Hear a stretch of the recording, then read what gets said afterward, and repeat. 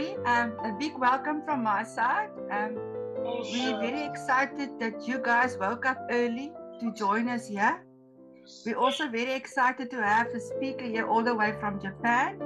Mansell is going to talk to us today about the early dynasties at the Dutch occupied Cape of Good Hope. He currently resides in Tokyo, Japan. He was born in the Free State and schooled in Welkom, Brakpan, Brakpan Springs, Salisbury, uh, Cabora, Bassa, Meyerton, Klerksdorp, and Somerset West.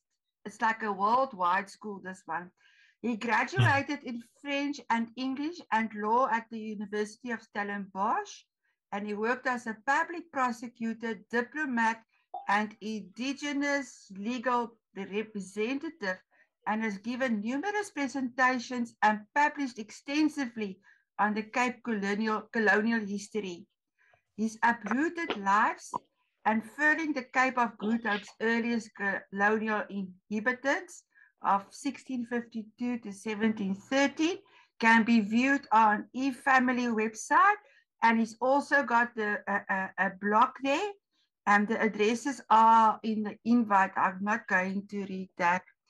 Mansell, it is over to you. We are very fortunate to, to have you here. We are very excited to to, to hear what you've got to say to us.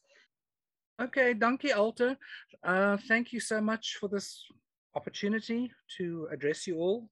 Um, I'm a little nervous because in this modern day and age of Zoom, so many people can be watching you from afar and it feels a bit sort of voyeuristic. So kind of strange to get used to this. So the topic, as, as Alta has mentioned, is going to be about uh, early dynasties at the Cape of Good Hope, slave dynasties. And I've put dynasty in inverted commas because I think it's an open question. You know, we obviously need to ask ourselves, what is a dynasty? And um, would, would the dynasties that I'm going to be talking about, would they qualify as dynasties? Or dynasty, as like the Americans like to say. So that's something to ponder. And, uh, you know, I'd like you to ponder that too with me. Um, but just to start off with, um, just a quote from one of my kinsmen, that one of, whom I'm very, very proud of, and that is Gijsbert Hemmy, uh, a great-great-grandson of my Ansela van Bengale.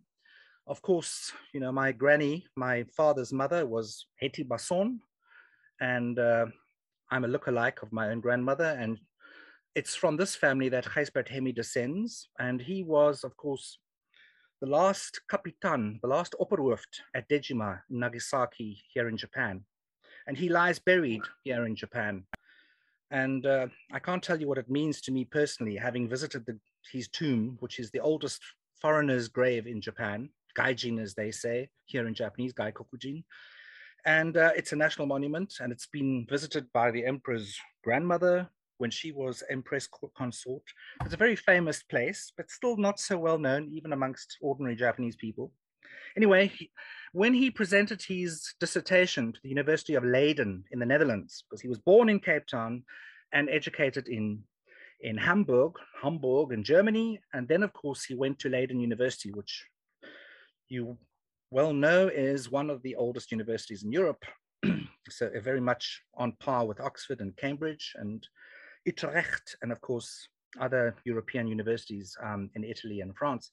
So he, in his dissertation, he just says, I am constrained, oh benevolent listener, I have changed to receive you to a hastily prepared banquet. Show yourself, I beg you, to be an accommodating and easy guest and consider these delicacies, such as they eventually are, placed before you as fair and just. So, so um, my talk has two components. And um, First, the pe peculiarities of European colonial slavery, the legacy thereof. So I'm just, I'll talk briefly about what legacy or what we are saddled with, what we have been left with in terms of slavery that was imposed on the southern part of Africa by the Dutch important to note. And then, of course, secondly, I'm going to talk about these slave dynasties uh, that, that were created. And but also bear in mind, I'm talking about the early period and early dynasties. So I'm not saying that all slaves that came to the Cape of Good Hope ended up making dynasties, not at all. But certainly in the early period, we have a very interesting phenomenon because the early slaves, in a sense, had a kind of advantage over the slaves that came after them. And I just want to add another note uh, when it comes to talking about slavery. I think it's obvious by now in 2022 that slavery is abhorrent and that it is a terrible institution. And it shouldn't even have to be stated because we wouldn't be where we are today if the feeling wasn't generally held.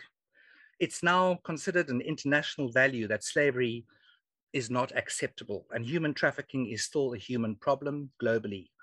So I don't think it's even necessary for me to go into how terrible slavery was.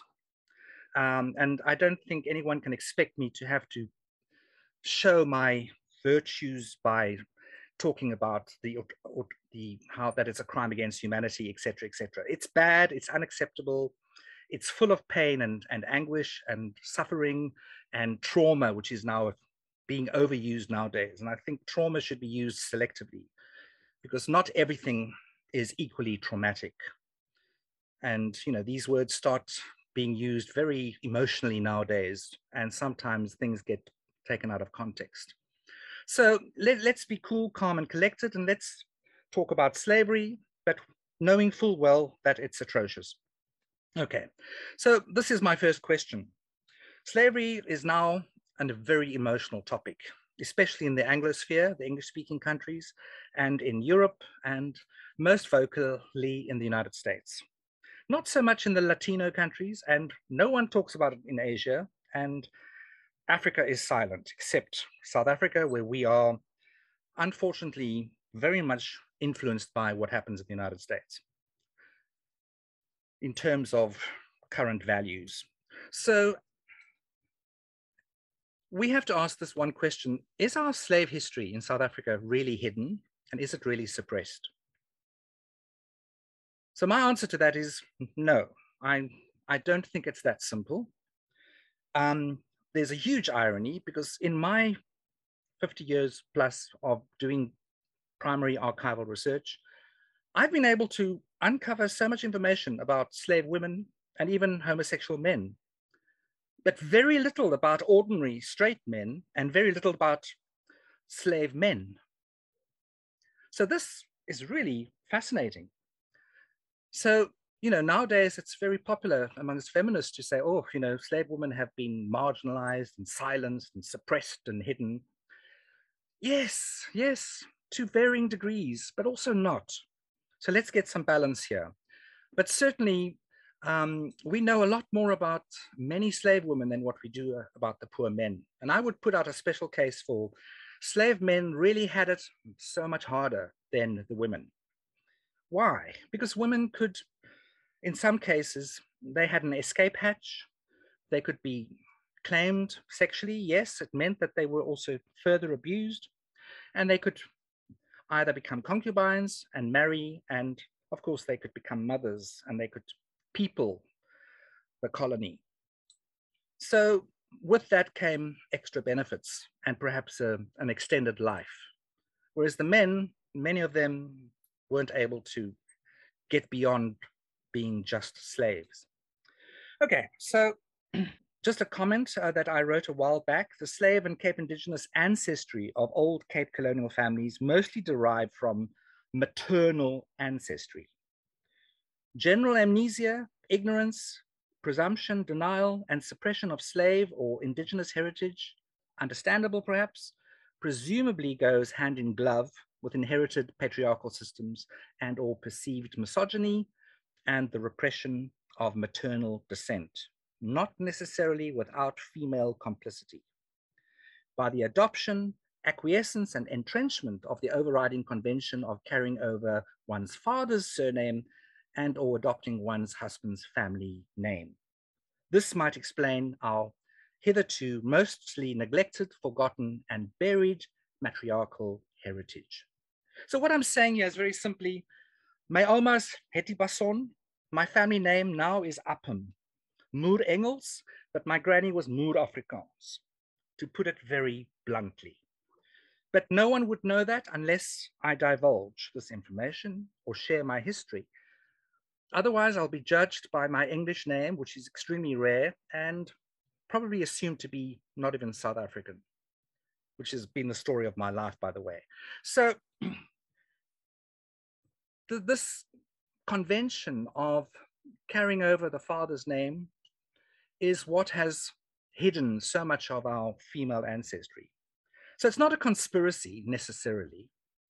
It's patriarchal, yes, but you know we must be careful not from seeing you know some kind of hidden plan to to hide women as if you know.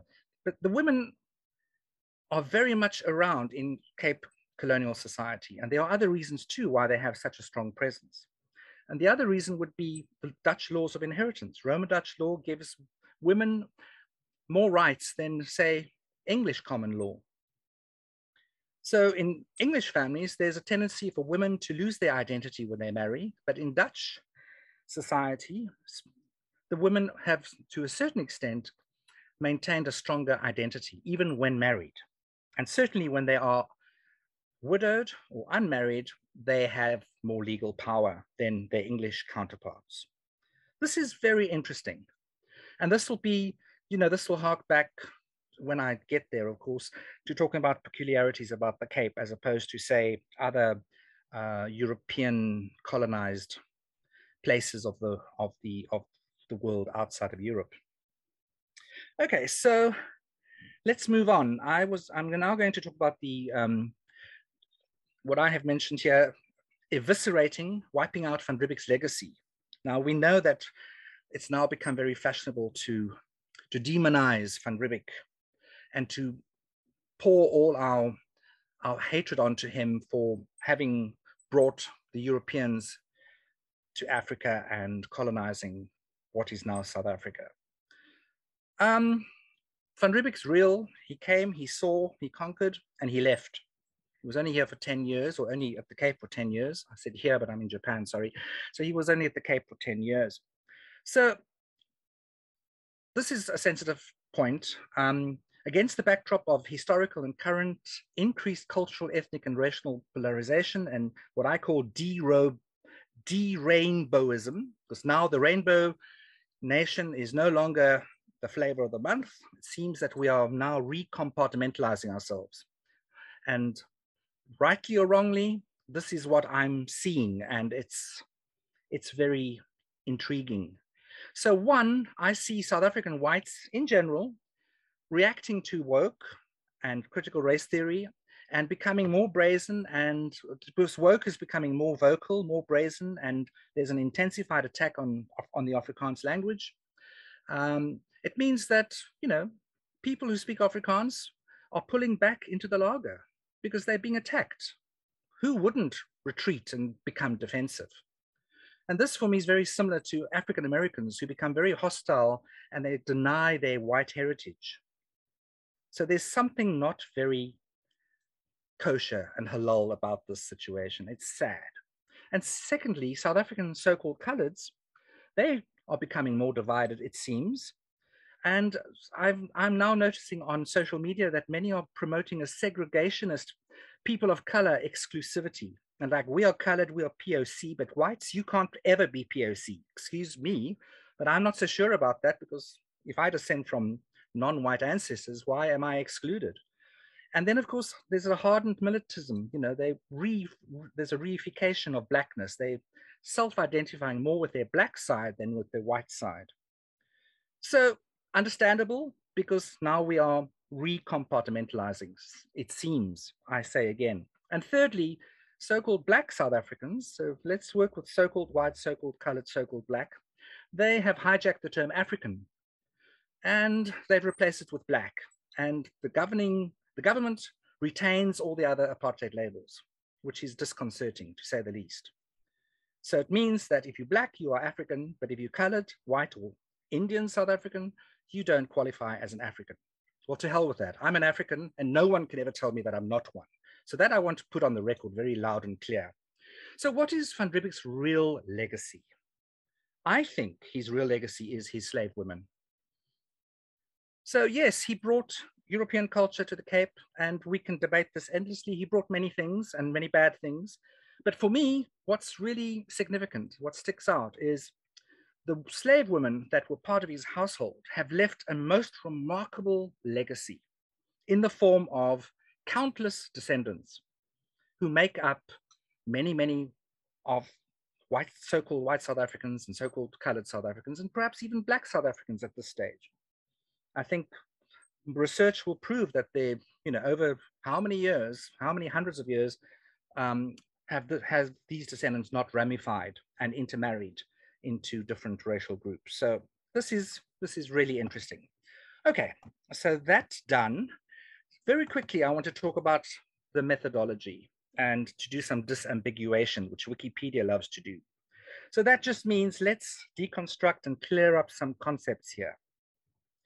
And I've used a, and reworked a phrase, we speak from facts, not theory, and we speak from theory, not facts. Two opposing ways of going about research. So just like there are many genders, and you might know or might not know that in the Buginese in Sulawesi in India have five traditional genders. So this is not a new idea that suddenly people can have more than one gender. So once again, this late, latest craze on what is a woman, what is a man, and who qualifies as what, it's as old as mankind, humankind, womankind, people kind. So what kind of researchers do we have? I, I, I listed a few which I find quite amusing um, and also interesting to compare. You get the copy pasters. I think that's self-explanatory. Now with this online social media and digitalization, we have so much information at our disposal. It's horrific. The proliferation is unprecedented in human history. So copy, Japanese call it copy pay, copy and pasting. This everyone does. And this you can do almost mechanically. It, if it looks right, you just copy and you paste and you send. Of course, this is highly convenient, but so, so dangerous. Beware of the copy pasters be very aware of them. Hobbyists, these are well-intended people who keep their time um, occupied with research about their family, which is great. And I think um, mostly people who finally get the time or have the luxury to do so. Family historians, next group, they're a little more serious because they try to place their family in a more social context. So just one uh, warning here, one little um, mention, Salman Rushdie in his novel Midnight's Children. This quote, I think, speaks volumes. Family history, of course, has its proper dietary laws. One is supposed to swallow and digest only the permitted parts of it. The halal portions of the past, drained of their redness, their blood. So what the problem with family historians is we shy away from skanda, from scandal. We shy away from what doesn't sit well with us. And unfortunately, human beings are not always good. So there's a lot that gets left out in the, the telling thereof. So family historians, good people, but not always, you know, willing to face up to the, the truth of things. Genealogists, as I've put there, data for verskrik. These people are so besotted with collecting data, which is a wonderful thing. But if you're not evaluating it and separating it from good and bad, it's not very useful. And it's just more proliferation. There's my methodology in disambiguation. And there's my groups of copy pasters, hobbyists, family historians, genealogists, and now historians. Historians are the most interesting for this talk um, I will talk a little more about them after the next two categories. Archival historians, very important, but inverted commas because these have been somewhat, shall we say, disparaged by the, the people who see themselves as real historians. So let's talk about historians, but just before I get to historians, last category, antiquarians. I have a soft spot for this word antiquarian But there's one problem because it's now become a negative, uh, it has negative connotations.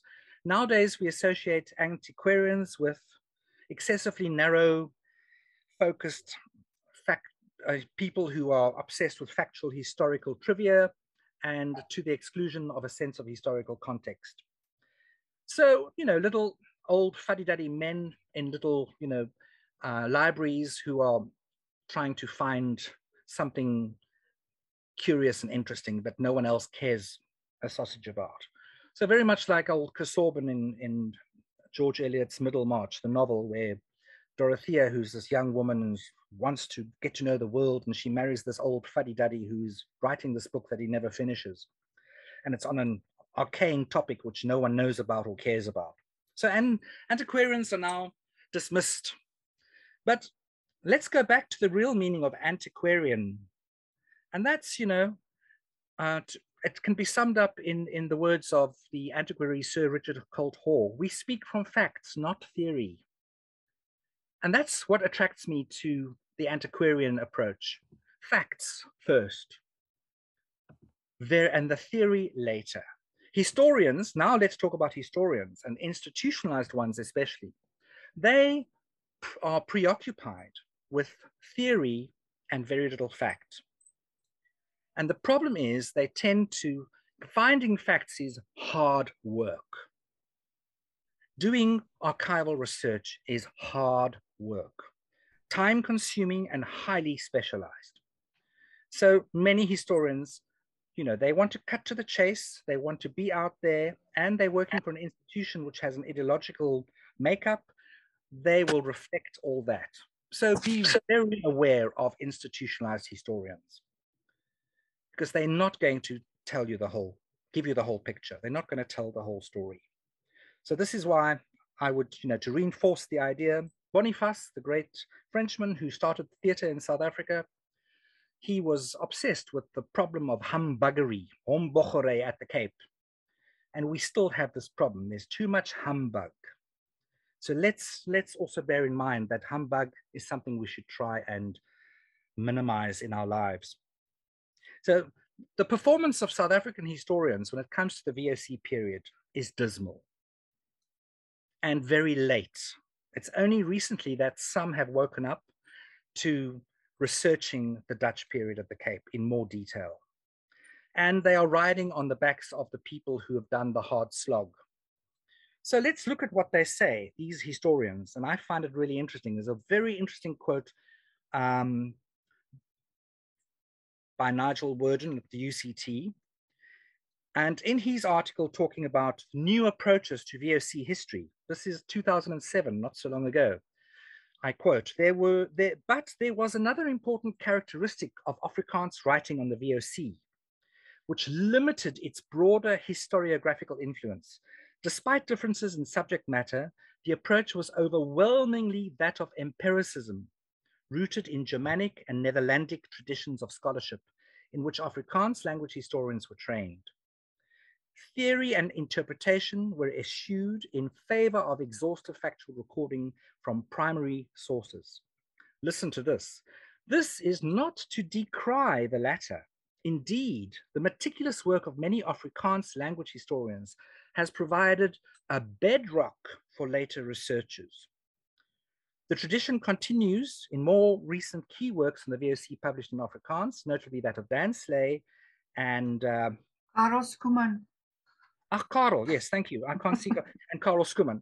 But sadly, they leave out the most important person. Uh, Nigel Worden leaves out Anna Böeseken. She is the mainstay.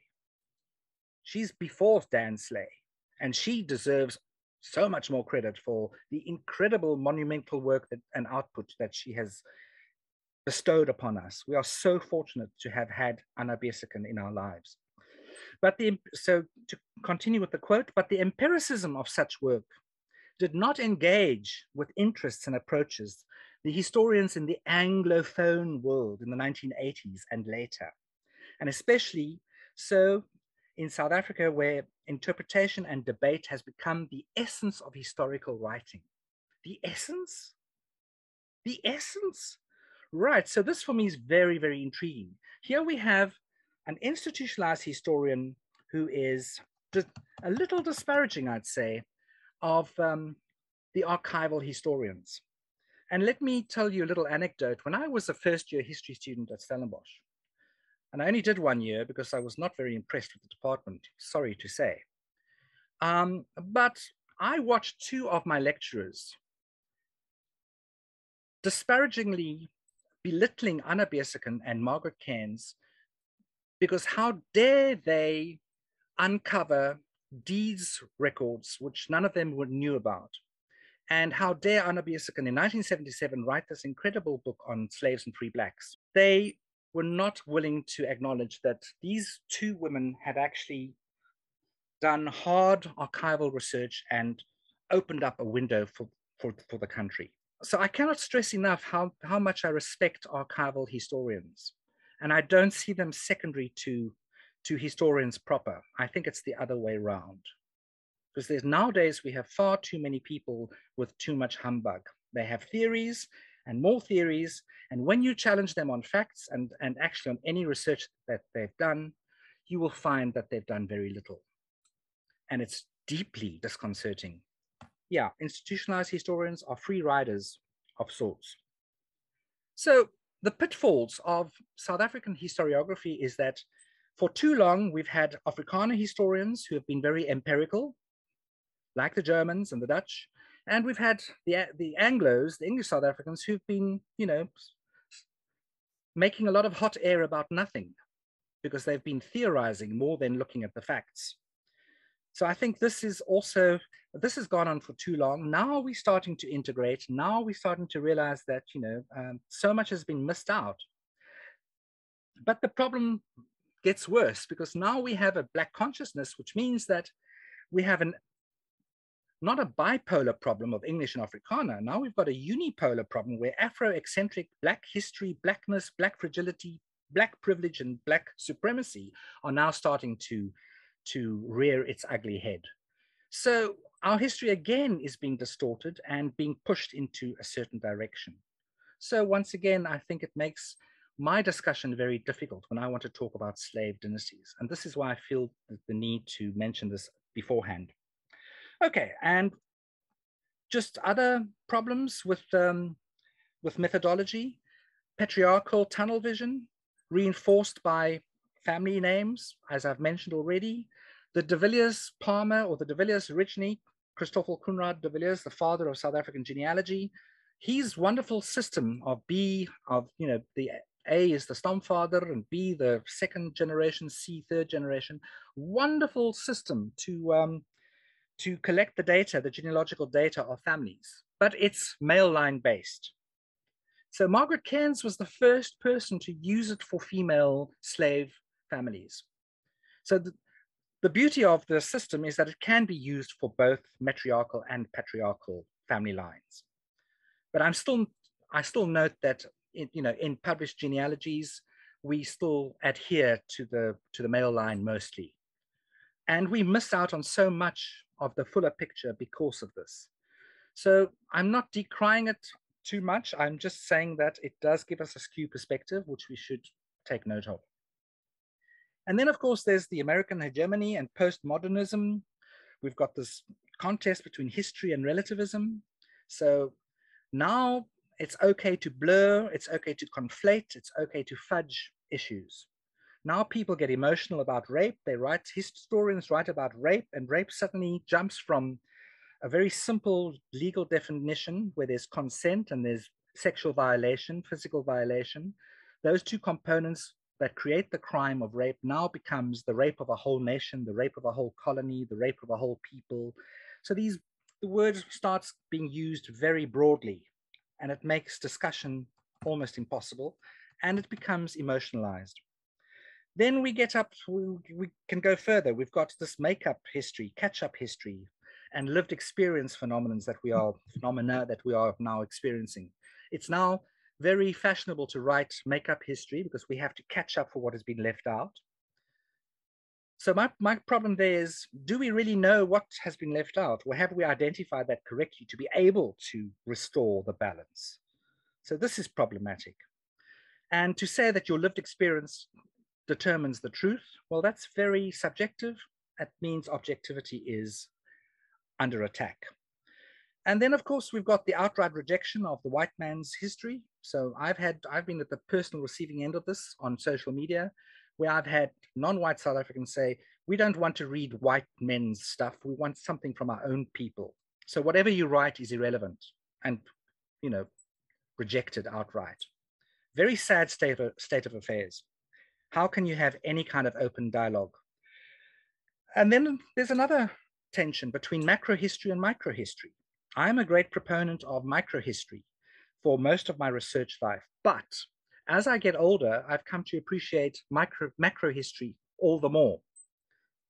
But I can really understand that, you know, too much macro is not good and too much micro is equally not good. So somewhere we've got to find a balance. And finally, there's another problem. There's the big data phenomenon. Now it's very cool to, to show maps and instant, you know, um, digitalized information that can form a picture and and uh, become imprinted in your mind. So there's no analysis. There's just what you see is what you get, and that is the truth. So big data manipulation, there's a very interesting project on the go um, between Stellenbosch University and Lund University. Johan Fourie and Erik Green are two of the drivers. Um, fascinating exercise. They are now digitalizing all the, the colonial records of the Cape, and they are trying to ascertain how the society became so economically divided, how the wealth gap was created. Now, this is, of course, sounds wonderful, and it is wonderful. My only question is, how are they inputting this information? Because that's going to determine the outcome too. And it still depends on archival research and interpretation. And still not enough of that is being done. Okay, um, so bottom line to that is something I wrote years ago when I was bemoaning the fact that my ancestor, my double ancestor, Eva Meerhof, baptized Eva, born Krotoa of the Goringhaicona, when I was concerned about her legacy being appropriated by new forces, I posed the following. Surely it is incumbent on historians, researchers, and academics in general, irrespective of, of all the isms, all the ideologies, to exhaust the records, even if we decide beforehand that these records cannot be accepted uncritically. One thing is very clear. Most historians and academics shy away from unearthing new material or doing primary research. Why? Invariably, they are too lazy Primary research is much too time consuming and frustrating. They om omit certain facts. Known and new facts do not suit their political agendas. They are not competent to access, understand, or interpret the records, 17th century Dutch, Danish, German, etc., and 17th century handwriting, very, very prohibitive to many. And their knowledge of the VOC period is disturbingly shallow. And I wrote this like 20 years ago, and it's still relevant. Oh, my last point there, I, I'm scrolling down. Cliched and trendy academic constructs are preferred at the expense of trying to establish a larger empirical and scientific understanding. So what you see with academics and the universities, suddenly someone wakes up one day and says, oh, we have to look at uh, the position of, of um, political freedom in the 17th century. So let's all do papers and let's do a seminar. And then everyone quickly puts something together and they all quote each other and they all you know, um, acknowledge each, each other in footnotes, and it's a kind of a circular jerk that goes on and on and on. And somehow all this theory becomes the truth, but very little bottom uh, researchers actually informed their, their conclusions. So it's very trendy. It's all about a topic that sounds sexy. Let's write about it and let's see what, what, what, what comes out of it. So it's pretty much hit and miss stuff, I think. Now, two more important points for me. I've, I've entitled this section, Not All Roads Lead to Mamre. And I've done this with a purpose because I think I have noticed historians are perpetuating colonial and apartheid labels and giving us a, a distorted his, historical reality. And I'm, the example I want to give here is two historians did research on Mamre, the mission station outside of Darling. And uh, Helen, Elizabeth Helen Ludlow um, and uh, Kerry Ward, Australian, um, they both did intensive research on the history of the mission station at Mamre, the Moravian mission station. But, and they were doing it from UCT, of course. And what they were doing is they were saying the mission station is a colored mission station, therefore we're looking at colored history. Big mistake. Because, well, my family come from that part of the world. And um, not every everyone that I have researched in that whole area has a link to Mamre, whether they were white or colored, slave or Hottentot or Khoi um, at that time. So in a sense, if you if you want to restore the past and you're only focusing on previously labeled groups, you're going to come up with a very limited history of, of. So the full picture of Mamre, I feel, hasn't emerged at all. It's very important because next to Mamre, there was there were competing congregations. The, the different churches were trying to to um, convert the different all the people in the area and everyone was living you know the whites were not so white anymore and the coloreds were not so black anymore. And slave and non-slave were intermingling legally and illegally which meant that there was a, a lot of people that wouldn't that everyone and the the authorities the colonial authorities were having great difficulty in sorting out and uh, putting into different camps. So to you need to really go to all the different, you need to research the, uh, and the whole area and all the different people together. If you're going to do them in, in groupings that are no longer relevant, it's not going to help you to understand what really happened. One more quote here from Hans Heese, important, Bruinmense versus the Camissa versus people of color. There's a lot of talk about the so-called colored people. Are they Bruinmense? Are they now Camissa? This is a new term that has been um, imagined and being pushed very aggressively, and also POC, which I find a bit of a misnomer because, frankly, all people are people of color. I think, especially given the, the rea realities of DNA testing nowadays. But Hans Heese wrote the following The paper mainly deals with the, the, large number of slaves from Asia and Africa imported to the Cape of Good Hope during the period 1658 to 1807 apart from the inhuman treatment of people from different continents and the evils of slavery as a system, the new migrants eventually fused with the indigenous Khoikhoi, San, and European population to create a new group of people that would eventually become known as the Cape Colored community, in Afrikaans, Kleurlinge or Bruinmense. Um, at present, this group consists of nearly 5 million people, 10% of the total South African population. My problem with this quote is that this is Hans writing quite recently in 2020, um, talking about Bruinmense, which is a term that is only being pushed by, it seems to me, the white speaking Afrikaans community. Um, but I might be wrong. This is, as I say, but I, something I'm noticing that are, the terminology is becoming contentious. Camissa, people of color, Bruinmense, so-called colored or just colored, um, but Hans Heese is saying here that a new group of people was formed. I disagree with this completely because why is he separating them from the white population? Because I have so many members of my family that are part of this so-called new group that Hans is referring to. So I think this is this this is the kind of problem that that creeps in every time and has crept in until very recently, as in this case. So I think it's important to to, to be aware of this. And then finally, sanitizing the past. There is this strange, because we are supposed to be horrified by what happened in the past. Any researcher is not horrified because we are much more exposed to that reality than people who don't research.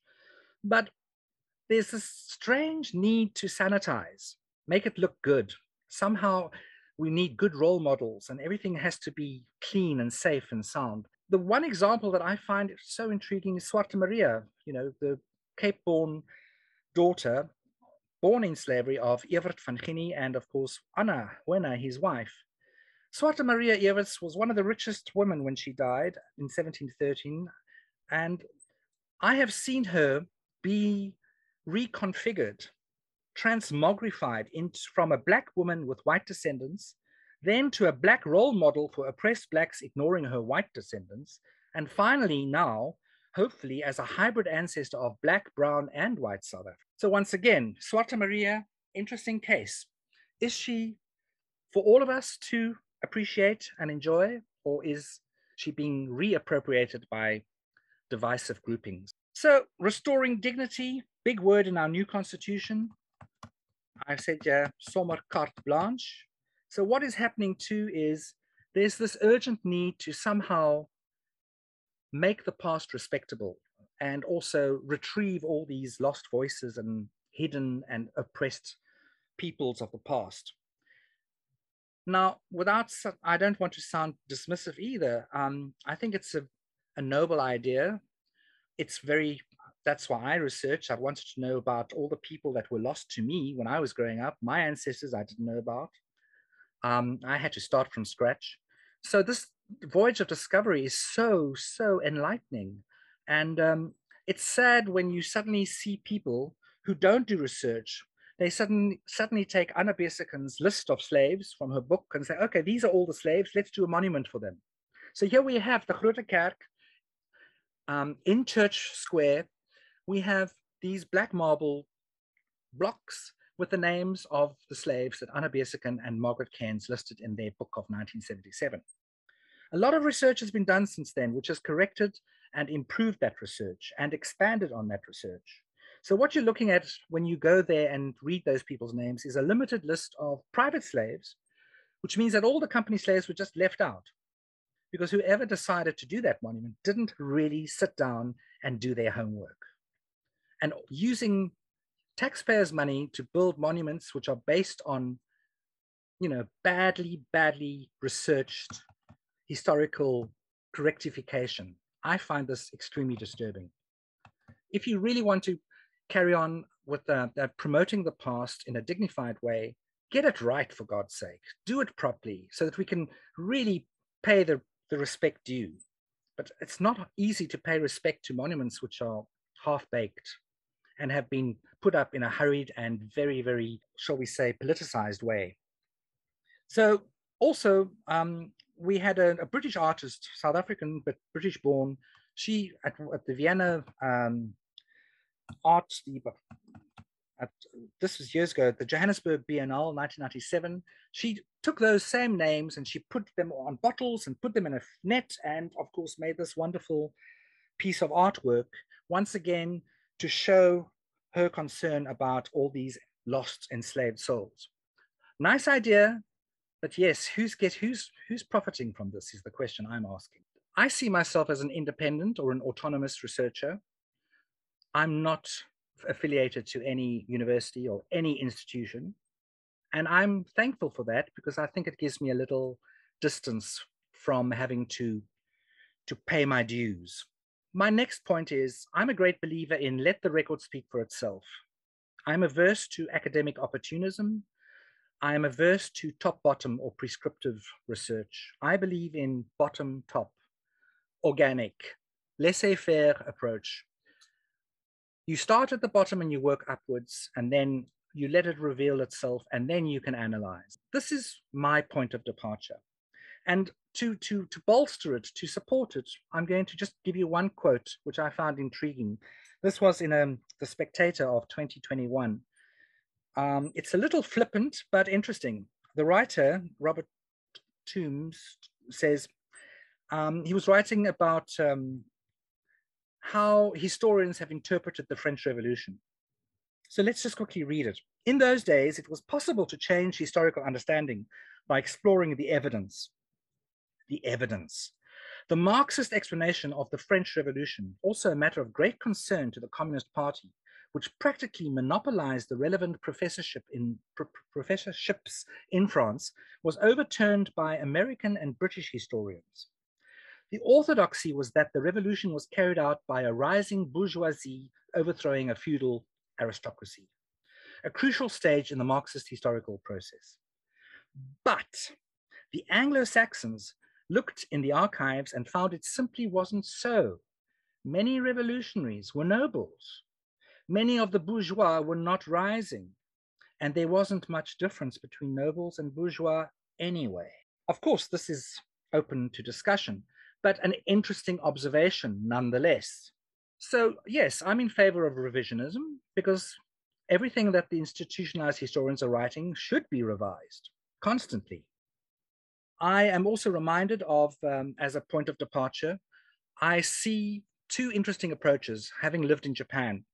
When I was in the embassy, I was always amazed. The South Africans in the embassy in Tokyo, if there was a crisis, a 'n plan, people jumped into action and everyone would do their bit. The Japanese staff would go to pieces. Domino effect, the one can't function without the other. The Japanese look at detail, they look only at detail and they don't look at the bigger picture. Now I'm generalizing, but this is my observation. And then I realized that as, as a Westerner, so-called Westerner myself, we look at the bigger picture far too much and far too little at the smaller picture. So it just makes good sense to balance the two, which is back to the scales of justice, which is an old Western, over centuries, we've come to this conclusion, this realization that you need to balance the scales. And the same applies in the Eastern thinking, yin and yang. We need harmony. And when it comes to research, this is crucial. And then two more points, clusters. I look at clusters. I find clusters very intriguing because when you are researching and you combine the dots, you get a fuller picture. So I'm a great believer in, in looking at um, family networks. So this is combining individual people in the record, dead people as individuals and dead people in their social context. Because we are, after all, not just individuals, we are part of a family, part of a community, part of a society and part of a country or a nation. Um, and then, of course, to pay tribute to my second cousin, three times removed, my great grandmother's second cousin, Jannie Smuts, with his holistic approach. Yes, there's a lot to be said for a holistic approach. And then micro history as a starter, very important. And yeah, I want to quote Schiller, wonderful phrase of his, you have to go the rounds from individual to individual in order to gather the totality of the race. I firmly believe that as a researcher, and this is what I do, and I, you know, and I do it for my own reasons. I don't expect other people to do it. I try to retrieve individual people from the past. And I try to give them equal space, equal time, equal attention. Because I think only that way can you get a fuller picture of what went down at that time. And finally, my lived experience lived experience, very important. Um, a quote again here. Um, I, my racial composition and my position in the world are realities which I alone may determine. I do not expect to be told what I should consider myself to be. So yes, self-affirmation, self-identification, this is incompatible with identitarian politics. They talk about lived experience. Well, I'm talking about lived experience too. My lived experience is not negotiable. No one outside of myself will determine who and what I am and who and what I should be. And finally, just another tribute, Olive Schreiner. In her preface to her wonderful first novel, her debut, written under a male name to get published and outside of her country, because she never appreciated inside your own country, it seems, then Story of an African Farm, in the preface, she has the following to say about two methods of portrayal of life. And this is beautiful. I'm going to read it. Human life may be painted according to two methods. There is the stage method. According to that, each character is duly marshaled at first and ticketed. We know with an immutable certainty that at the right crisis, each one will reappear and act his part. And when the curtain falls, all will stand before it bowing. There is a sense of satisfaction in this and of completeness. But there is another method, the method of the life we lead. Here, nothing can be prophesied. There is a strange coming and going of feet. Men appear, act, and react upon each other and pass away. When the crisis comes, the man who would fit it does not return.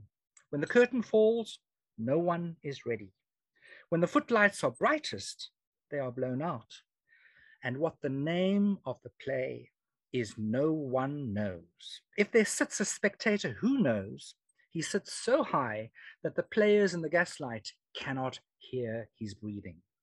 Life may be painted according to either method, but the methods are different. The canons of criticism that bear upon the one cut cruelly upon the other. Okay, now we're getting closer to slavery at the Cape. Now I want to talk about, okay, so now peculiarities of Cape slavery. You're probably all thinking, when the hell is it going to get to the point? I want to focus on some peculiarities that I have picked up in the course of my research. Um, I'm not going to do a comparative study of transatlantic slavery as opposed to Cape slavery, which is very necessary and could take a book and endless discussion. And I would encourage people to think much more along those lines. I'm going to assume for this discussion that we all have a general uh, idea of transatlantic slavery simply because it's been shoved in our faces for far too long. We've been bombarded with, you know, armors, uh, movies and Hollywood movies, and and um, we've been Roots when that was a TV series, which also was based on false research. But we've we've we, we have uh, in our minds the first thing that comes to mind is slaves being transported en masse in extremely horrific conditions across the Atlantic. And of course, it's always from a very North American perspective. Now, whether that's their fault or not is neither here nor there. It's just a reality. America is the dominant culture in many ways, and we are subjected to it, rightly or wrongly. But so let's let's talk, look at you know what's different about the Cape, and and you know I'm going to mention a few. It's not exhaustive. It's not the full list. Just first a quote from Hans Heese. He wrote this in 1979. Very perceptive and very ahead of his time let's read. I've translated this from, from the original Afrikaans. The question why some free blacks, mestizos and castizos, okay, mestizos is half black, half white, mestizos quarter white and three quarter black, were assimilated into the white community while others were rejected during the 17th century and even later is a challenge for the researcher, especially interested in social history. It is clear that rejection or assimilation were not necessarily connected. If inferences can be made on the basis of data from this seminar, which of necessity are openly based on a limited amount of documents and primary sources, it appears that the norm for acceptance in the white society was a lot more complicated than the simplistic Christian or non-Christian or white or non-white dichotomy, which is still generally posited today, right? Evidently, the person not born in slavery had a better chance to be accepted into the economic and social life of whites, irrespective of biological descent. There were indeed many prominent free burghers during the 17th and 18th centuries into who were mestizos, while some white castizos still found themselves in a state of slavery. The state of freedom or bondage of a person evidently contributed to his position in society. To equate the problems of identity of the 17th century with the color problem of the 20th century the following observation should suffice. It seems that white was sometimes black and black was sometimes white, with a large gray area existing between the two poles. This gray area must still be investigated by the historian, anthropologist, and political researcher, and genealogist, and hobbyist, and etc., and requires further research in the Netherlands, India, Portugal, and Madagascar.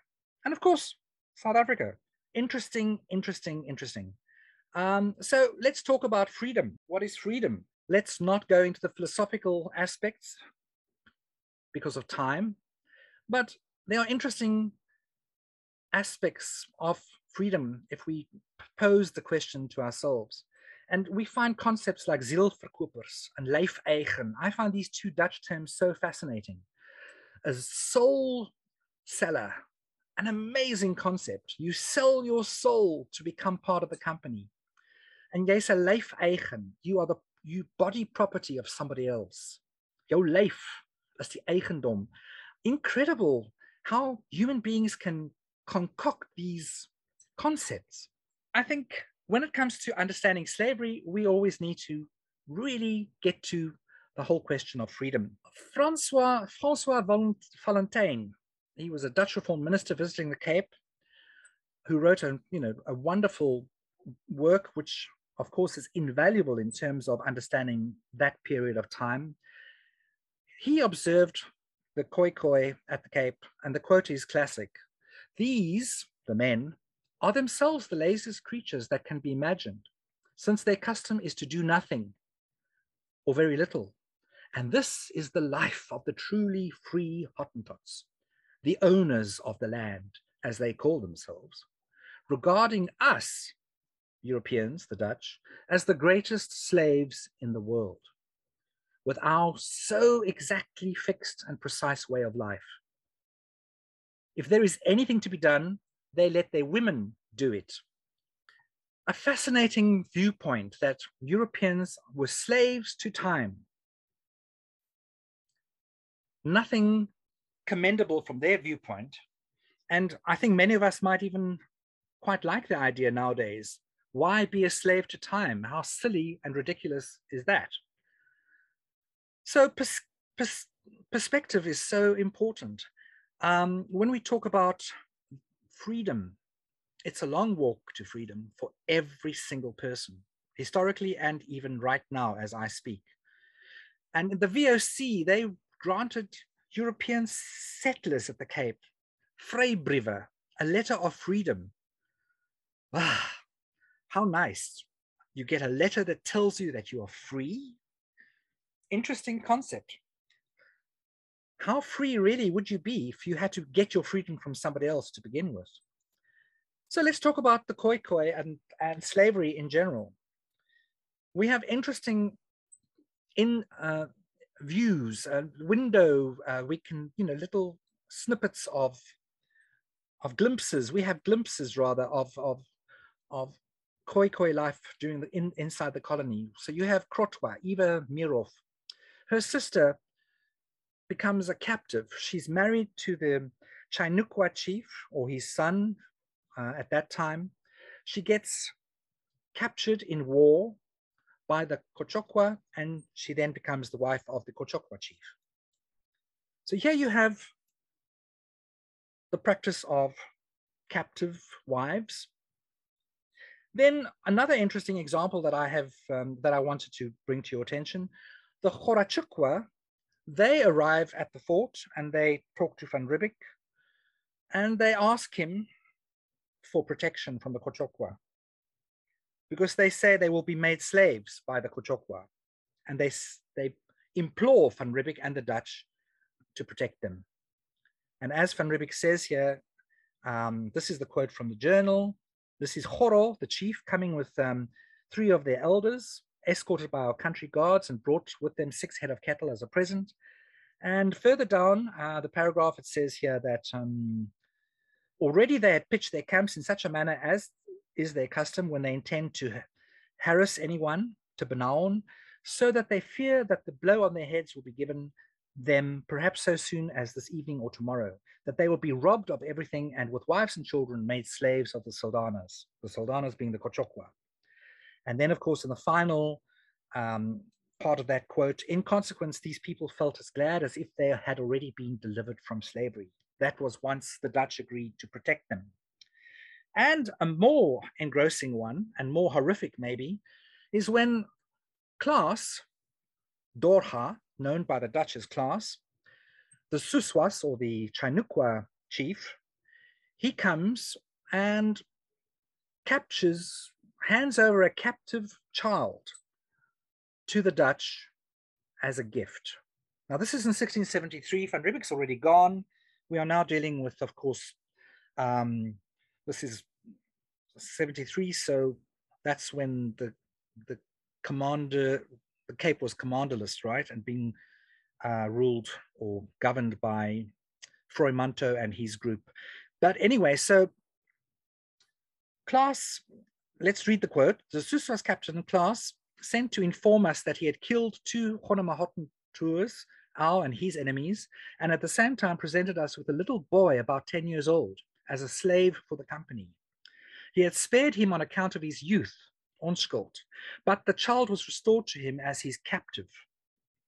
And then, of course, interesting comment, it seems that these brutal Africans have commiseration for innocent childhood, which, however, is not considered by many Christian potentates.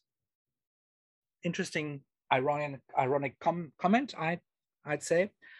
So, yes, we have a glimpse of um, some indigenous approaches to slavery.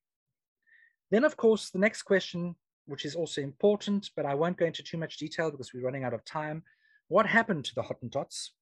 The question of are they extinct? Was there genocide, ethnocide, self effacement, economic marginalization, cultural vulnerability, and incompatibility? Was it all a pre planned plot by white people to to wipe out indigenous peoples? These are all very open questions. So I want to draw your attention to two viewpoints that I think are worthy of contemplation. One is the argument that the indigenous people were responsible for their own effacement. They, by collaborating, by becoming part of the colony, they helped to eradicate their own culture. So do they disappear? Yes and no. With the smallpox pox epidemic, yes, to a very great extent, but culturally and socially, those that remain, they become integrated. And we can't pretend that they are suddenly now more indigenous than ever before. They are very much part of the South African landscape. And I'm a living example of, of that too, as are so many other people. So going by looks, it's not going to be very helpful, I'm afraid. And then I think this very interesting comment by Richard Elphick, the American historian who first wrote about the Khoikhoi. Note it was an outsider who wrote about, who first really wrote about Khoikhoi history. South Africans were too late. When I was at university, we had to study this work by an American. And my what went through my mind was, why are we studying the work of an American? What, what's wrong with our own people? Why the hell are we not doing this ourselves? Anyway, be that as it may, let's let's read the quote. This is on the on the disappearance of the Hottentots, shall we say. So thus the leading features of Khoikhoi decline were the complex interconnections of its many causes and the predominance of broad processes over discrete episodes of diplomacy and conquest. For these reasons, Khoikhoi decline was a mystery both to the Europeans who initiated it and to the 19th century investigators who vainly sought to explain it by a single cause, be it genocide or plague. For these reasons, too, the story has hardly ever been told in recent times. It has few villains, fewer heroes, and little of the drama that attracts novelists and historians to later phases of settler native conflict in southern Africa. Yet the process of Khoikhoi decline should be understood, and not only because brown and white South Africans still live with its consequences today, for it is a fact worth pondering that the European subjugation of southern Africa began not because statesmen or merchants willed it, nor because abstract forces of history made it necessary, but because thousands of ordinary men, white and brown, quietly pursued their goals, unaware of their fateful consequences. Now, when we look at slavery at the Cape, it's important to ask yourself, whose slaves were they? Who owned them? Were they VOC officials, patrician families, Note patrician, because not all white colonists owned slaves. This is another thing that people conveniently forget. You had to be rich to own slaves, and not every white burgher was a slave owner or could even dream of owning a slave. Free burghers, there were some. Free blacks even owned slaves. So freed slaves themselves could become slave owners once they acquired wealth to buy and purchase these slaves. And of course, political exiles. There were many Muslim exiles from Indonesia um, or the Dutch East Indies and from Sri Lanka and from India that the Dutch, of course, dumped at the Cape. Lots of royalty too, and nobility and religious leaders. And these were prominent slave owners at the Cape. Also, something which doesn't get mentioned too loudly. Peculiarities specified. Let's go into a little more detail here. Um, an important point which I always remind myself about because I forget it too. Slavery had been abolished in Europe already by the 11, 1200s, even earlier. And it was only resurrected once the Europeans started trading with China and, of course, when they opened up the New World, the so called New World. And when they happened on slave, indigenous slave owning societies, they tapped into these existing systems. So slavery, in a sense, was revived. But the Europeans' response is so interesting. What do they do?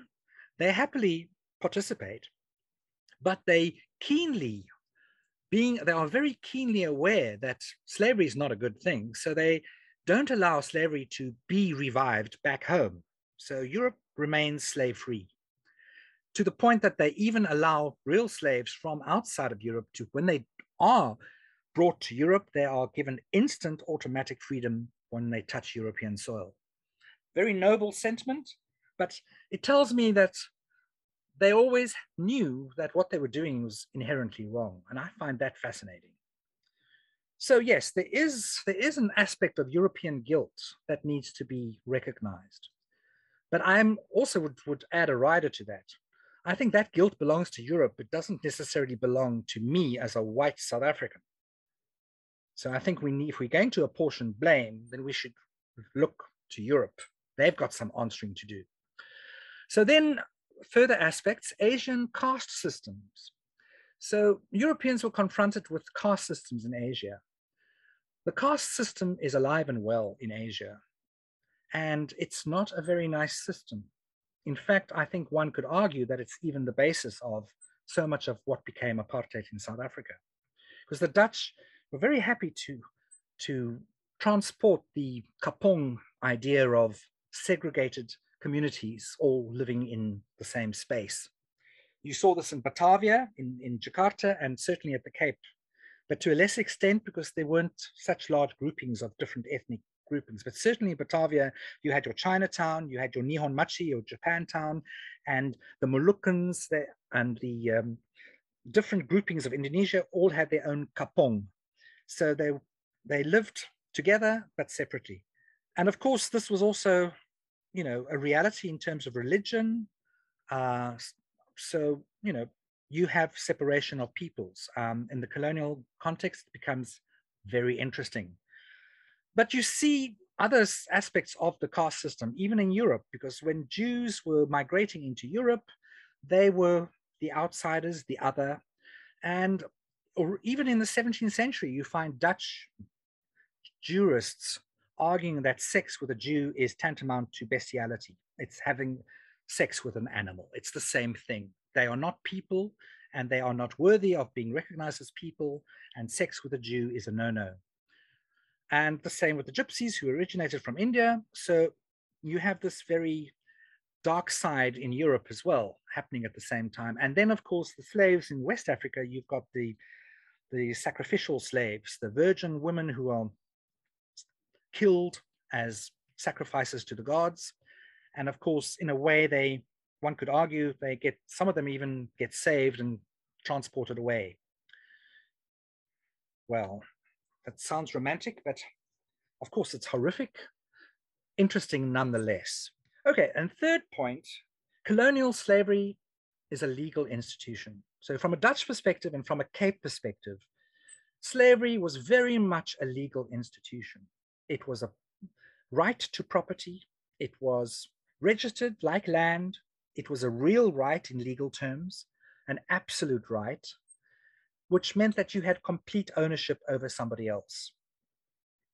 But being a legal institution, it was subjected to rules.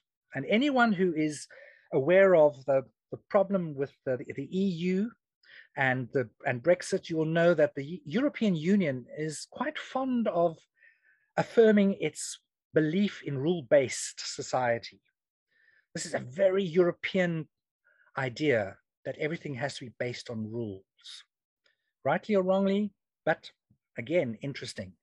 So slavery as a European institution is very different from slavery in terms of the Arabs or let's say the Indonesians who were also slave practitioners or slave practitioners in other parts of the world, South America, Central America, wherever.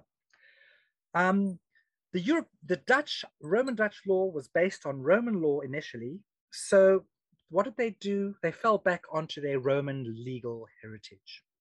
So it's very curious. You'll see Roman names. You will see Roman jurists being quoted in the in the in the records, and they based their the rules on Roman principles, Roman legal principles.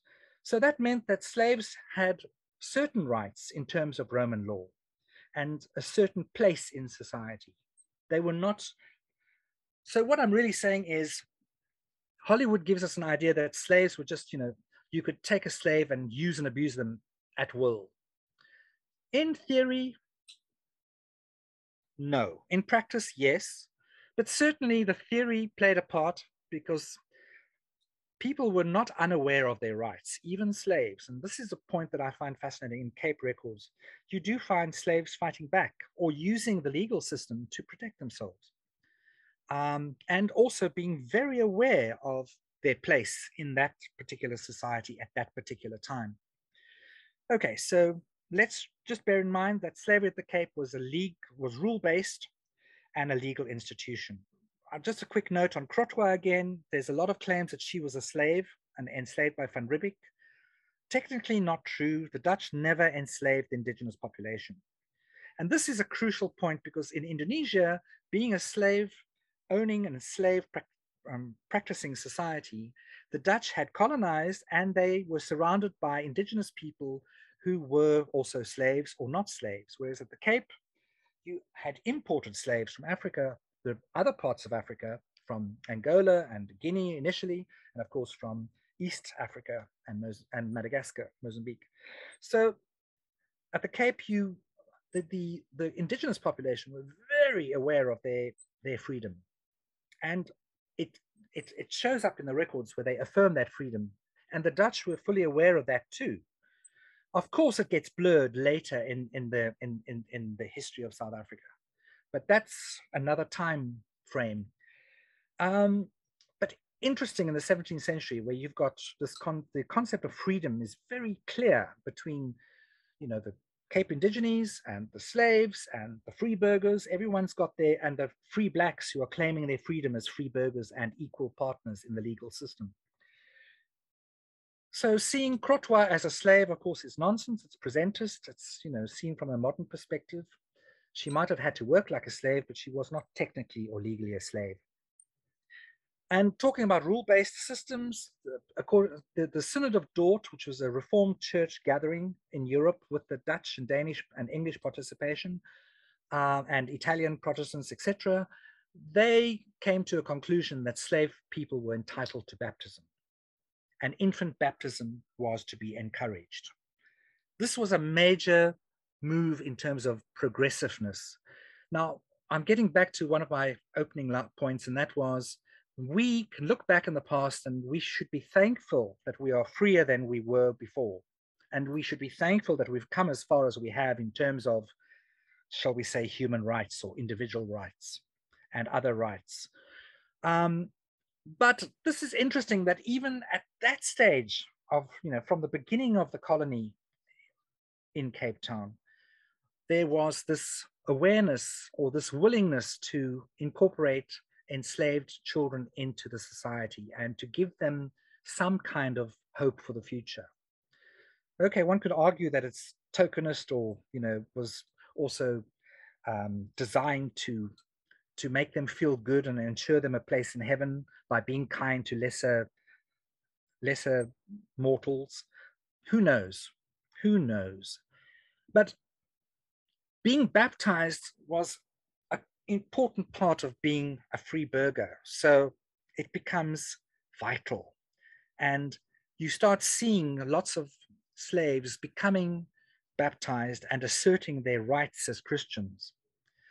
Uh, and of course, it opened the doors to marriage and um, inheritance, etc., etc., and uh, legitimization. Um, okay, um, I've mentioned already, um, I didn't really want to talk about um, I wanted to focus on the peculiarities rather than differences as such. But I did mention um, that we are aware of the Hollywood idea of transatlantic slavery. Yes, so plantations and, and the Arabian slave trade with castration of men, which didn't happen at the Cape. Castration was not a way of controlling male slaves at the Cape. Um, in fact, it was, I don't know of any cases where slaves were even punished by castration as a matter of interest. And of course, proselytization or religious conversion, how aggressive it was in terms of societies. The Spanish did en masse baptisms, the Protestants were much more careful and did it on an individual basis, which is also intriguing and worthy of comparison. And then, of course, the language aspects of, you know, what happened in a slave society like America and a slave society at, in South Africa. Afrikaans becomes a language, it becomes institutionalized, and it's the patois of, of this mix. And it's, of course, an open question of who started it first and where did it come from. But I think it's quite clear that it comes from all the groups that are intermingling. And, you know, enough said, uh, it's a debate for another time. But, but so, so interesting because why did this not happen in America? Why did it not happen in Brazil? Why did they not take on this a new lingua franca and institutionalize it?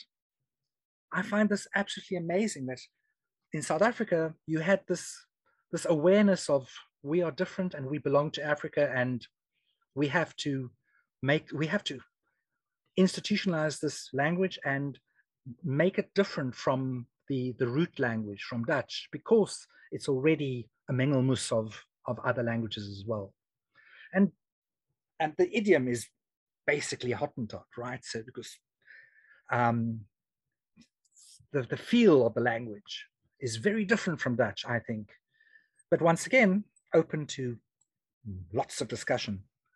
Um, right, so, and then ethnic breakdown, of course, this is an interesting aspect too.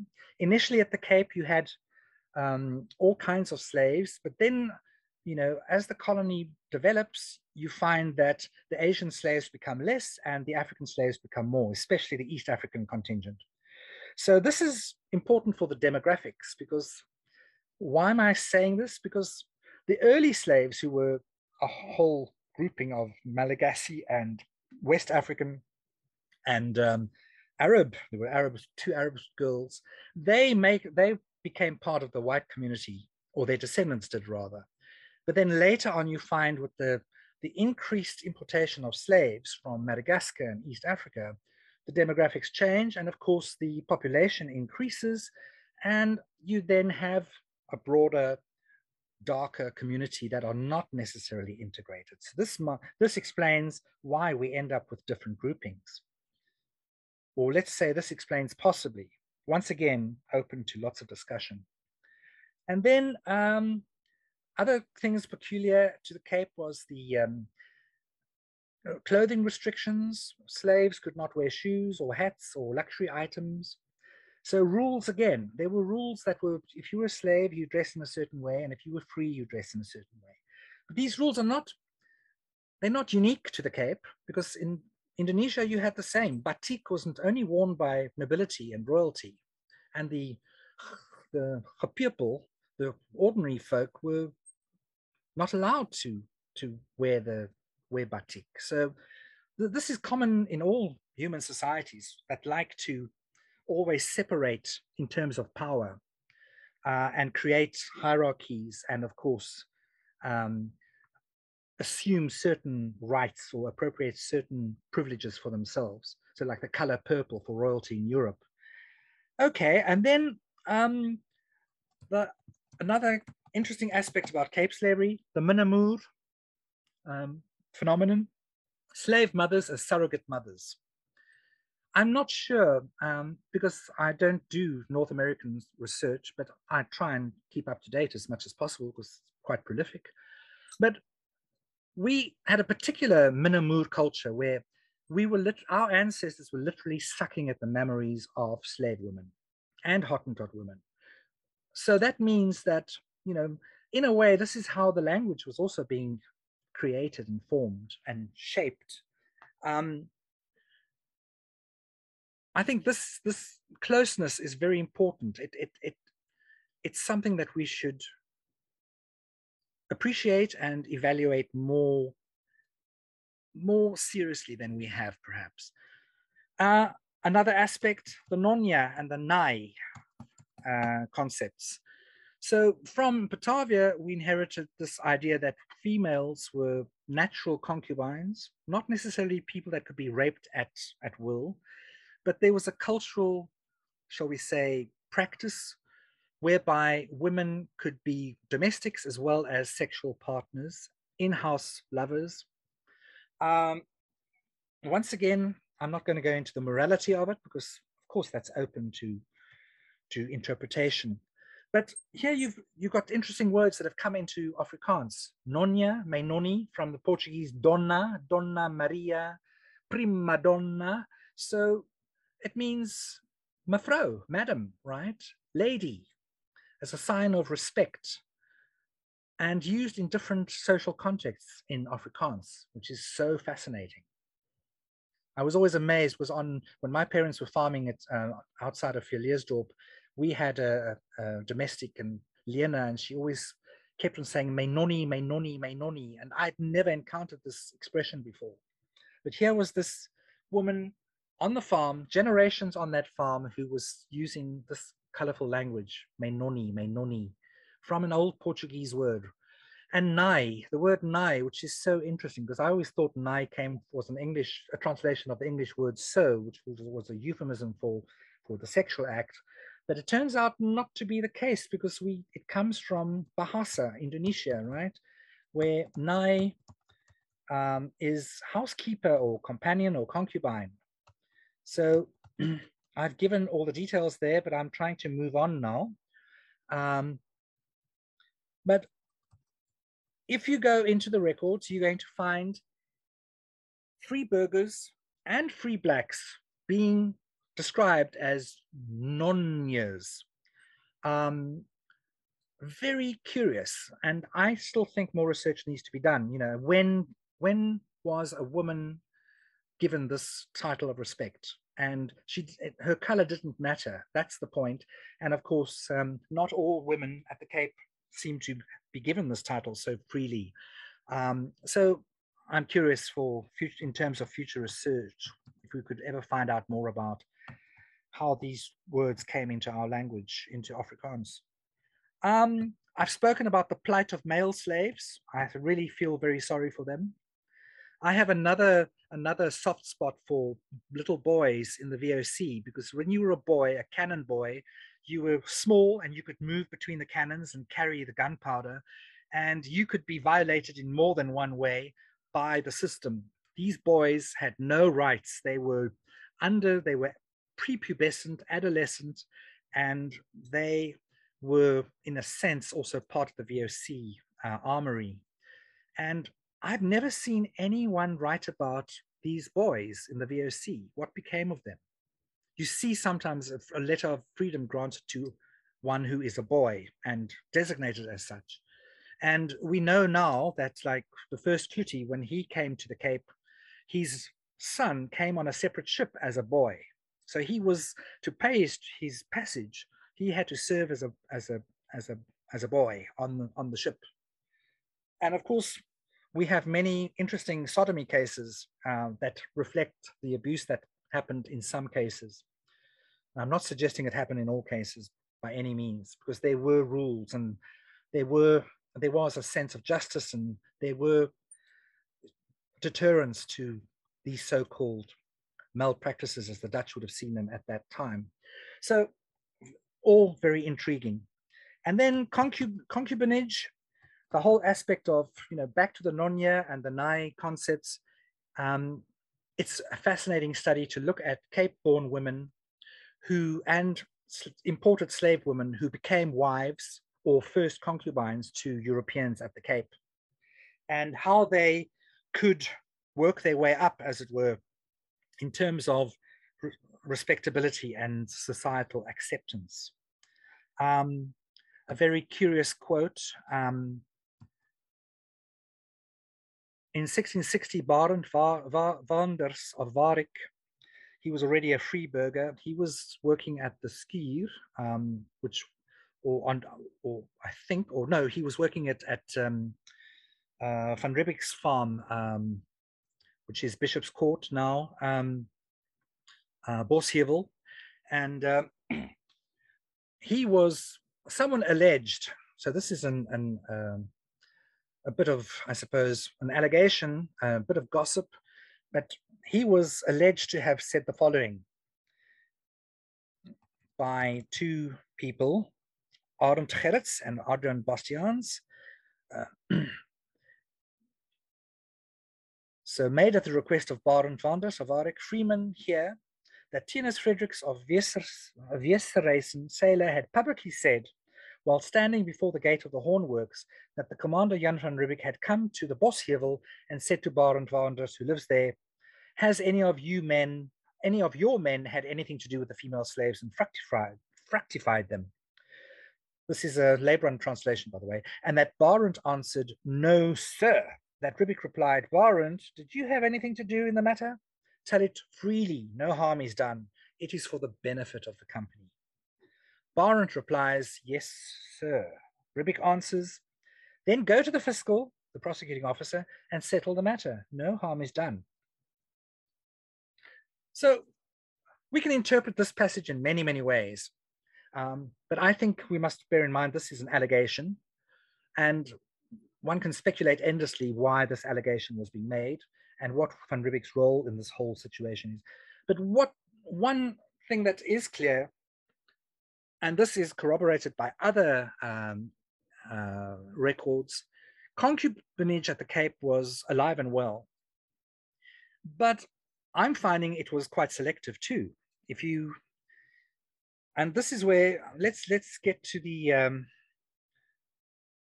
let's talk about Maaij Ansela, for instance, and and Van Riebeeck's slaves in particular. So at one point, Van Riebeeck had Maaij Ansela and another Indian slave, Dominga, and of course, he, his oldest slave was Maria da Costa, Maria van Paliacata, also known as Maria van Bengala. Maria seems to have been very popular with a number of important VOC officials in the fort. And we have a classic moment where we she is found in bed with the gunner, no less, next to the gunpowder room in flagrante delictu, they are in the act. But more fascinating for me is who are the men who are actually finding them? Who are the men that that intercept this moment of passion? They happen to be men that are also fathers to her children. And suddenly you see a whole thing uh, uh, uh this this this this moment becomes very it gets blown out of proportion because they gun for the gunner and they decide to throw the book at him and obviously he's moving in on their territory and he has to be removed so they throw the book at him and they make all sorts of other allegations against him and of course he gets charged for neglect of duty and not being on his post um, but he doesn't get charged for, for concubinage, which was a crime at that time, according to the statutes of Batavia.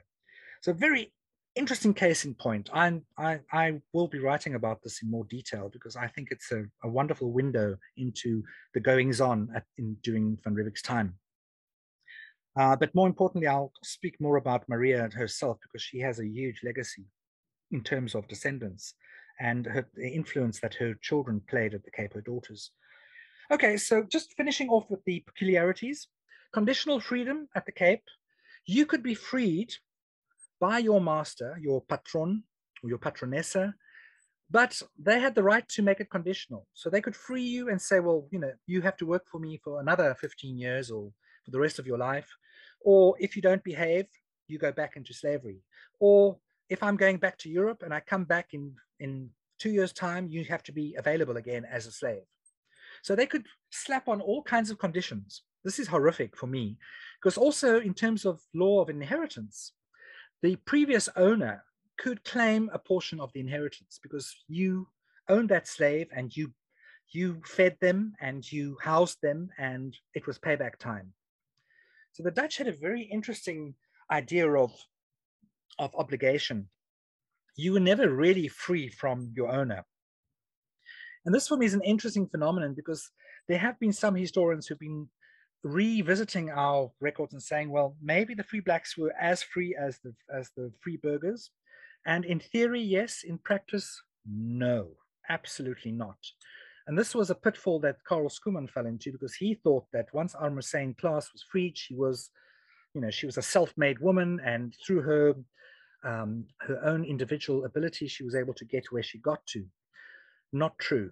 She had a family network that helped her to get where she got to, and um, you know, it it wasn't at all um, that simple because once she was free, half of her family got to be incorporated into the Christian white community, and the other half never had that fortune. So, what went wrong, or how did it come to be that it, you know, they didn't all get the same, um, the same privileges in the end? Um, these are questions that that you know beg questioning. I think. Um, okay, wealth accumulation in bondage a very curious phenomenon. Um, after the first 20 years of the Cape, you suddenly find that slaves not only have to buy their freedom and not only have to be baptized, not only have to speak Dutch, but they also have to pay in terms of a, a substitute slave. And this became a new convention where you had to find another slave, a man usually, this is where I feel sorry for the men, who could replace you so that you could become free. And we see a lot of these manumissions in the records for the Council of, of Policy when they um, approve these applications for, for freedom. So you have the strange practice of find the question that arises, where did these slaves get the money to buy other slaves so that they could become free? And I haven't seen anyone really write about this at all. Um, right? Uh, and then slave contact with Batavia. We've got wonderful cases where slaves like Mai Clasia of Angola and Maria da Costa and Maria Domingo. Maria Domingo actually goes back to to the east, but not, she's from Bengal, but she ends up going to Batavia with her husband, who's also, he's actually a Chinese, um, a free Chinese man, and they go back to Batavia and they come back to the Cape. So you've got this interesting move, movement of slaves or ex-slaves that are actually moving between Asia and Africa. So there's a, you know, we tend to think that once you get to the Cape, you never leave and everything becomes cocooned. Well, not so. My Claas's um, grandson was corresponding with his cousins in Batavia, and Maria da Costa's family were also, you know, when the inheritance comes into view, they some of the family were inheriting in Batavia while the family was dying at the Cape. This shows interconnectedness. It shows that you know the Cape was very much connected to Batavia in an ongoing way. Another interesting aspect is slaves taken to Europe and given automatic freedom on arrival. I've mentioned this before, but we have the curious case of Armozine's daughter, Maria Stewart, and Klaas Jonas, who's also one of her, it's her grandson, they end up being taken to Europe and getting their freedom. Another curious aspect, I have not seen any literature on what happens to those people when they end up in Europe. I've never seen any Dutch historians write about them or, you know, reveal what, you know, what became of them. And there were a number of slaves at the Cape that were shipped as private attendants of retiring VOC officials and taken back to the Netherlands. What became of these people? The, the records are there, but no one's looked at them, as far as I know. And I'm hoping that this is going to also reveal so much more because we know that, you know, some of them were leaving family behind in, in at the Cape when they were going to Europe. And you know, what did they come back? Did they ever have any communication thereafter, etc., etc. Okay, and then cruelty towards slaves, another hot topic. We've got very interesting cases of slaves being badly treated by masters. Once again, this is not to say that it happened all of the time by everyone. It certainly happened, and the degree to which it happened, once again, that should be investigated. Um, there's some really horrific cases, but there are also, it seems to me, many cases where there wasn't such kind of maltreatment and that you had more of a, a patriarchal or shall we say uh, paternalistic approach to slavery where they were tolerated as members of the family or semi-accommodated or totally accommodated.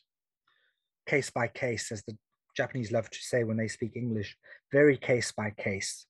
Special treatment? Yes why do why do slaves like Maaij Ansela and Janneke Bort, who are both important stammoeders of, of, of many South Africans, why did they get such preferential treatment as opposed to other slave women?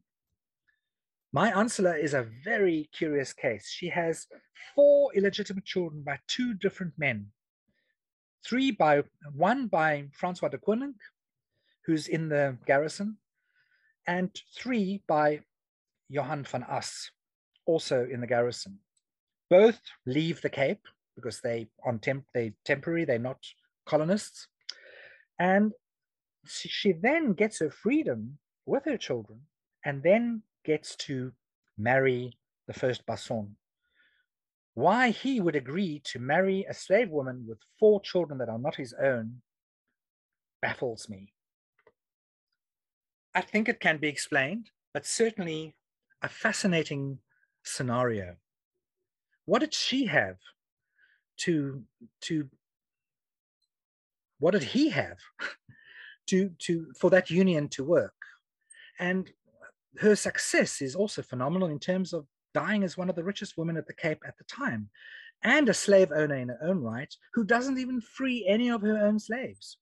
Unlike some of her white counterparts who feel the need to free their slaves before they die because there's a sense of conscience, bad conscience, or a hope to get a ticket to heaven, who knows? But interesting. Why, why, why? Um, the joys of research, always looking for the answers and never finding them. Uh, then to I, next point I want to quickly touch on. Um, yes, the question of adversity it's very popular for writers, and I've seen it recently with um, Margaret Cairns did that with Armazine, Schoeman followed. Um, Hislop recently also referring to Margaret Cairns's research about a slave owning family of valuable property in Cape Town, saying that, you know, these people were amazing because, you know, despite the adversity, they could do what they did. Yes, yes, but more context they couldn't do it alone. And they, there had to be some kind of network in place for them to be able to do that. And this is what this talk I was hoping to bring to your attention. I was hoping to show you that we need to look even more, even closer to, to this to, to find the answers. Um, and one of the answers is the dynasties that I have mentioned and not hardly spoken about yet. Okay, so just I'm going to go very quickly now. Um, other categories, another point, there's a very important distinction between private slave and company slave. Important here was the access to education. Slaves could not gather wealth in terms of money, but they certainly could gather power in terms of education. And, and education was never a priority for the Dutch at the Cape. Protestants like money and God less. And it's very interesting, of course, generalization, but you find at the Cape that education was relegated to the slaves, even for the white children or the officials and, and the upper crust. And um, the slaves could ensconce themselves. They could basically build up a, a power basis because they were doing the educating. And this gave them tremendous entrance into society. So, and it played a very important part in this dynasty formation. Um, private slaves too, some of them got really good upbringing, whereas, you know, company slaves not necessarily so, and sometimes the other way around. Um, of course, one would ask to what extent did the personal attributes of the slave play a part? And of course, some in some cases, and maybe all cases, the personal attributes have to be taken into consideration as well. And then just further uh, adding to this, um, better life than before? This is a very difficult question. Would it be better to be a slave back in Bengal? Or would it be better to be a slave back in Sri Lanka? Would it be better to be a slave back in Indonesia than to be a slave at the Cape and then to become freed and have an opportunity to have a life thereafter? This for me is a fascinating question. I, in many ways, am very thankful that my ancestors that were slaves were able to be freed from their home countries. It's with trepidation that I entered Indonesia because for me it was like going backwards. How can I go to a country that aborted my ancestors? It's it's not a comfortable feeling to go to a place where you know the people didn't want your own ancestors and was happy to ship them off or sell them to the Dutch so that they could, you know, disappear. Um, so the better life idea, you know, slavery. So what I'm getting at here is like colonialism, slavery has its positive outcomes too. Not positive enough, maybe. Nevertheless, there's some positivity. It's not all bad. Uh, and then back to the legal system and the rules. The Dutch have this wonderful phrase, een moeder maakt geen bastard. This is such an interesting legal concept in Roman Dutch law. Um, of course, it, it's a bit contradictory because people conceived out of adultery and incest were still uh, outcasts and never given their place in the church or in the afterlife, even. But generally, all bastards could be legitimized ultimately. And for inheritance, um, this is very interesting because it meant that people at the Cape uh, who had a slave background had a greater chance to be assimilated into the colonial society. Unlike the English legal system, which of course just never allows bastards any possibility of being legitimized. But if you were born out of wedlock in Roman Dutch law, in terms of Roman Dutch law, you could be legitimized when your parents got married or if your stepfather adopted you. And you didn't have this the stigma of, of illegitimacy sticking to you for the rest of your life. Okay, finally, we are now going to get to slave dynasties. So Cape slave dynasties, family networks and colonial elites. So this is a follow-up on an article, just the idea that came to me after reading Gerald Groenewald's uh, interesting piece on dynasty building, family networks and social capital, alcohol pachters and the development of a colonial elite at the Cape of Good Hope. And he did a, a very his PhD was based on this, on the whole question of the pachters, uh, you know, monopolies at the Cape and how people like Eksteen, who was possibly Jewish, but who was an Afrikaans stamfather, one of the, the progenitors of the Eksteen family, and of course his father-in-law, Michiel Heyns, who was a German from Leipzig. And um, how did Eksteen become the most famous entrepreneur at the Cape at that time? He died the richest man, and of course the the the research is fascinating. But it's more fascinating if you, now Gerald was very much aware of the slave connections, but being a good historian, it was going to take too much time and trouble to go into the slave side because the records are difficult to, to access and to, to put together, to reassemble. So he does hint at it, but he, but it, there's so much more that can be told about the story. And so the dynasty building is, a, is clear in terms of the white community, but it's not so clear in terms of how did Michiel Heyns um, manage to set himself up without, without the help of his wife, who was Maria Schalk, who was born in the slave lodge, her father being the Van der Merwe stamfather. And how did this woman, you know, who is, of course, Armazine Klaas's half sister, and the whole family, um, you know, she and her siblings, they are entrenched in the slave lodge and they are interconnected with the colonial society. And this explains so much more how, in the end, Eksteen could become the wealthy man that he does. My main focus is the commander slaves, because they were the first slaves really at the Cape, and the ones that were private slaves before the company could amass and and and uh, uh, its own um, group of, of laborers. Um, so the commando slaves were private slaves. They were domesticated and they had the opportunity to, I suppose, have a better life because of their their inclusion in the households of the governor and his wife, or the commander first before they became governors. So, of course, we have Krotoa, we have Eva Meerhof, who was an interpreter, but never, and possibly a servant uh, at times, but never a slave. But then the real slaves, we have Kodor and Saba, who were possibly half sisters.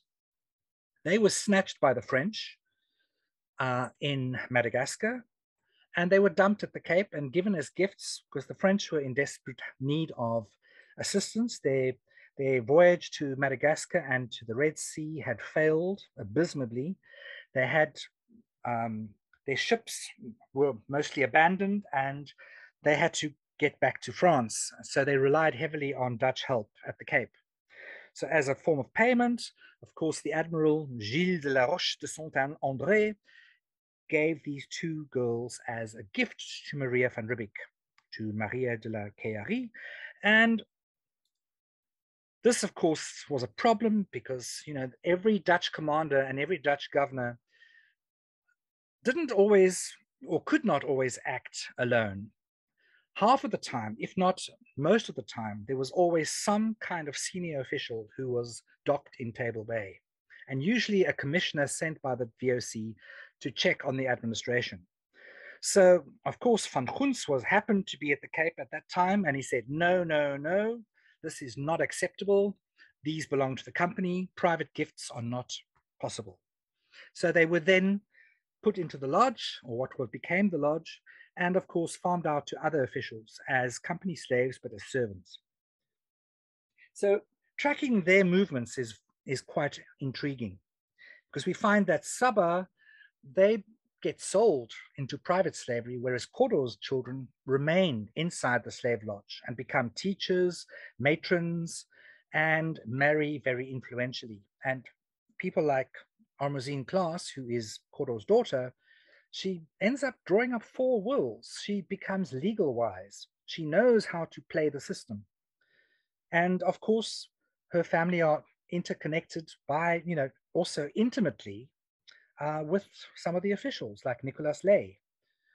So you've got you've got this mixing of, of fluids, of blood and illegitimacy, but at the same time, you've got this kind of, you know, acceptance of an extended family, albeit not so legitimate.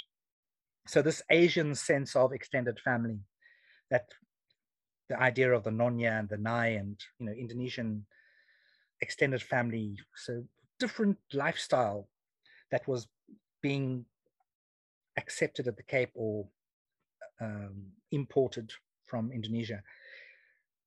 And then, of course, the, of the slaves that Van Riebeeck owns, he owns Anna from Guinea. Anna is important because of her daughter Zwarte Maria and the Colijn family. They own, you know, Constantia eventually. They get to own Simon van der Stel's farm after his death, sometime after his death, and they become one some of the richest families at the Cape at the time. And then we've got a more intriguing one. We've got Lobbekeer. Lobbekeer, of course, gets as a private slave after Van Riebeeck leaves the Cape. She gets sold to a German, also from Leipzig, Müller, who is Angela's um, protector after she's freed. So they end up baking bread together. But Lobbekeer is intriguing because when Miller ups and leaves the Cape, although he comes back again later, he sells her, Lobbekeer, and her children, who are all uh, mixed race or Halfslag, they cannot be sold because once again, slavery at the Cape was rule based. So if you were half and baptized, or if you were a slave and even full blood, full Heelslag, full non white blood, as it were, very difficult concepts. But if you were a full on slave but baptized, you could not be sold again. So they join, they can join the slave lodge, but on a temporary basis until they reach legal majority, which for a woman at that time was 22 and for a man 25. Once again, men had to slave for longer. Um, so you have and you have this interesting case where Lobeke has one child who is not who does not have a white father, who other children do, and they go to the lodge and they stay there until they get their automatic freedom at legal majority. But one is full at Heelslag. So Miller and Lobeke strike up a deal, and he promises the mother that he will free the daughter and baptize her, which he does, and then he leaves the Cape. And while he's away, suddenly there's a controversy because now the Dutch are saying, but who's paying for her? Who's feeding her? Because she's still a minor. And um, Miller comes back to the Cape to find that, you know, there's a big contestation as to who owns her and, you know, where she fits in. And he then has to reaffirm that he did free her and that, and he gets his friends to also give attestations that they they were responsible for feeding and housing her and that the company never ever did anything to to pay for her upkeep. So and later on this same girl who was given her freedom by miller is granted land and becomes one of the first uh, non-european registered landowners at the cape she becomes really fascinating because i'm going to drop, drop a bombshell here and I'm I was two minds about whether I should or not. But she's actually Lobeke, I believe, is the mother of Ansela, who was Ansela van der Kaap, who's the stammoeder of the Comfort family. This is crucial. Very, very interesting. Um, and so the next question is, you know, what happens to Lobeke's children and, and to her descendants, and what kind of power or inside power did they wield inside the slave lodge? Because Lobeke's other daughter becomes matron um, and she features prominently in the records because she's baptized and because she starts her life outside of the company in the household of Miller and his wife. And she has certain attributes, being a bit more literate, maybe a bit more skilled, a bit more worldly wise, who knows? But she she comes back into the company when Miller leaves and she then gets utilized more effectively. Um, so, what am I really saying here with this whole talk is we have to look at each and every case to find out what made these people do what they did. If we're going to really jump to conclusions about the whole impact of slavery, um, it's quite a dangerous business because the Cape was small enough. It's a microcosm and the population is very small. We owe it to these people, our ancestors, to write up their lives in the best and honest and most honest possible way. And that's really my the biggest message that I have in this talk today. If we can just realize that we are dealing with individual people and we have this, I won't say sacred task, it sounds too grandiose, but we have this task, this responsibility, maybe, this need to retrieve them and show them up in, in all their in all their glory and non-glory.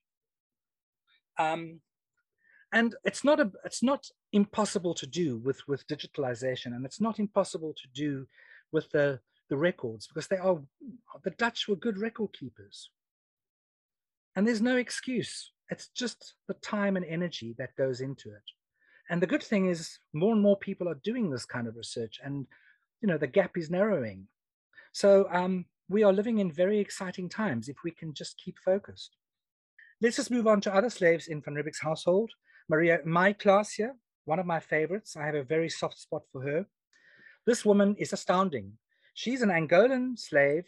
She gets shipped as a very young girl from Luanda to Bahia, almost.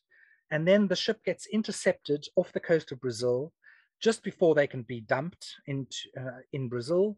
And the, the, the, the ship gets taken by the Dutch and they retrieve half of the cargo of slaves and they leave the others to die and with a few, um, some food and drink, but they take the best and they bring them to the Cape and they're mostly children.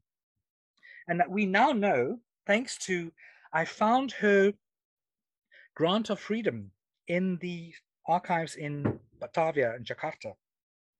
So we can safely say she was born in 1652, the year of Van Riebeeck's arrival, and she died in 1732. So she had a very, very long life. So she gets transported from across the, Indi- the Atlantic Ocean and back again, gets dumped at the Cape. And when she becomes older, she gets used as a minnemoer to suckle the, the child of one of the VOC's officials uh, Mrs. van Helsdingen, and then, of course, ends up in, in Jakarta, in Batavia. And then, after her task is done, they tell her that she is entitled to her freedom. They send her back, and she has to assert her rights, and she does, and she gets freed at the Cape. But for me, the most amazing thing about her is that after some time as a free black, she moves back into the slave lodge because she fulfills a very vital function as a midwife. And midwives, in their own right, had, in the 17th century, I believe, a very powerful and pivotal role to play, especially if you were a slave woman. And it, it plays out, it plays out in what happens to her descendants. Because we do find that some of them get freed and some of them end up leaving the Cape for a better life, maybe they hoped for, and they return. Although born at the Cape, they return, inverted commas, to Batavia. And they correspond with their relatives at the Cape. And uh, if you know the wonderful research by Susie Newton King on Koevoet's correspondence, Arnold Koevoet, who was the uh, free black, who is the grandson of uh, my class here and he corresponds with his cousins in Batavia. The letters are online and they are fascinating to read. They have they have only been uncovered recently and there's so much more that can be gleaned from them. You know, there's so much more we can tell about their lives by analyzing what actually stands in those extant letters. And um, I'm really hoping that we'll see more research on that in future. It also opens the door for possible more existence of other correspondence between other people from the Cape with people or family in Batavia. Um, okay, next, Christina, another important woman. Um, she has descendants. I've mentioned the families there. I think you can read. I'm not going to talk about it, but the Van Biljon and Heitema and Bakker families. Francine van Angola, descendants in the company lodge. My Isabella, one of my ancestors as well. She's the ancestor of the Bayers and Esterhuizen families. Maria van Angola and Maria Picanane van Angola, who is the ancestor of the Voortrekker secretary, Jan uh, J.C. Bantjes. Very interesting connection. I connect to her as well through my Hottentot, my boss at Hottentot fourth great grandfather, who is a descendant of Maria van Angola, who ends up in the Hottentot Corps and who gets land at Atlantis next to Mamre. This is where I come back to not all roads lead to Mamre. Um, and then, of course, Groote Katrijn, I think you know about her. This is research I did many years ago. When I first happened, thanks to Anna Böeseken's footnote, I could retrieve the original court case, which she said didn't exist but actually did and was sent over with Katrijn as a convict. And the rest is history. Um, you can read about her if you don't know about her yet on, on my blog or on First 50 Years. And the same applies to Maaij Ansela. I think you know um, a lot about her. She's already almost. Uh, it's it's so bad now that if I tell people about Groote Katrijn, they end up telling me uh, about her as if I've never encountered her before. So that's a very good way of knowing how well they've become uh, accepted in in in society, whereas they were completely unknown, say 20 or 30 years ago. And um, Maaij Ansela, just coming back to her, for me, the the weirdest thing and the most amazing thing about her genealogical or her legacy is that some of her descendants they they all worm their way into the Dutch colonial administration They all have cushy jobs and they're very wealthy, lots of slaves. And when the English arrive, they they connive and they make themselves subservient. You know, they ingratiate themselves with the English, and some of them go to India, to to British India, not just Dutch India, and they worm their way into the East the English East India Company. And some of them become prominent um, colonial officials for the British in India. They then return to the UK. Some of them die in Scotland. Some of them end up in Rhodesia. Um, some of them basically end up as colonizers, slave descended colonizers, um, slave descended English colonizers. the mind boggles when you realize the ramifications of this. So um, I've written about that too. So my blog is is there too. It's for free. I have put it out there. Um, and then just lastly, Dominga, she disappears. I suspect she died very early. And Maria da Costa, of course, is the one who's kept, who's caught um, in flagrante delictu uh, next to the gunpowder room with in the arms of the gunner. I I will be writing much more about her, but her daughters, one is the first teacher in the slave lodge, Greta, uh, Margarita Jans who is the illegitimate daughter of Jan Grof, who is the founding father of the Visser family, from whom I descend, by the way, seven times. He's my most prolific ancestor. Me, Mansell George Upham, has more Visser blood than any other blood from any of my other ancestors. So he's a prolific, important, early Cape founding father. And he has children by two slave women and his wife, possibly two wives. And what's interesting about him is you see that he acknowledges the existence of his extended family.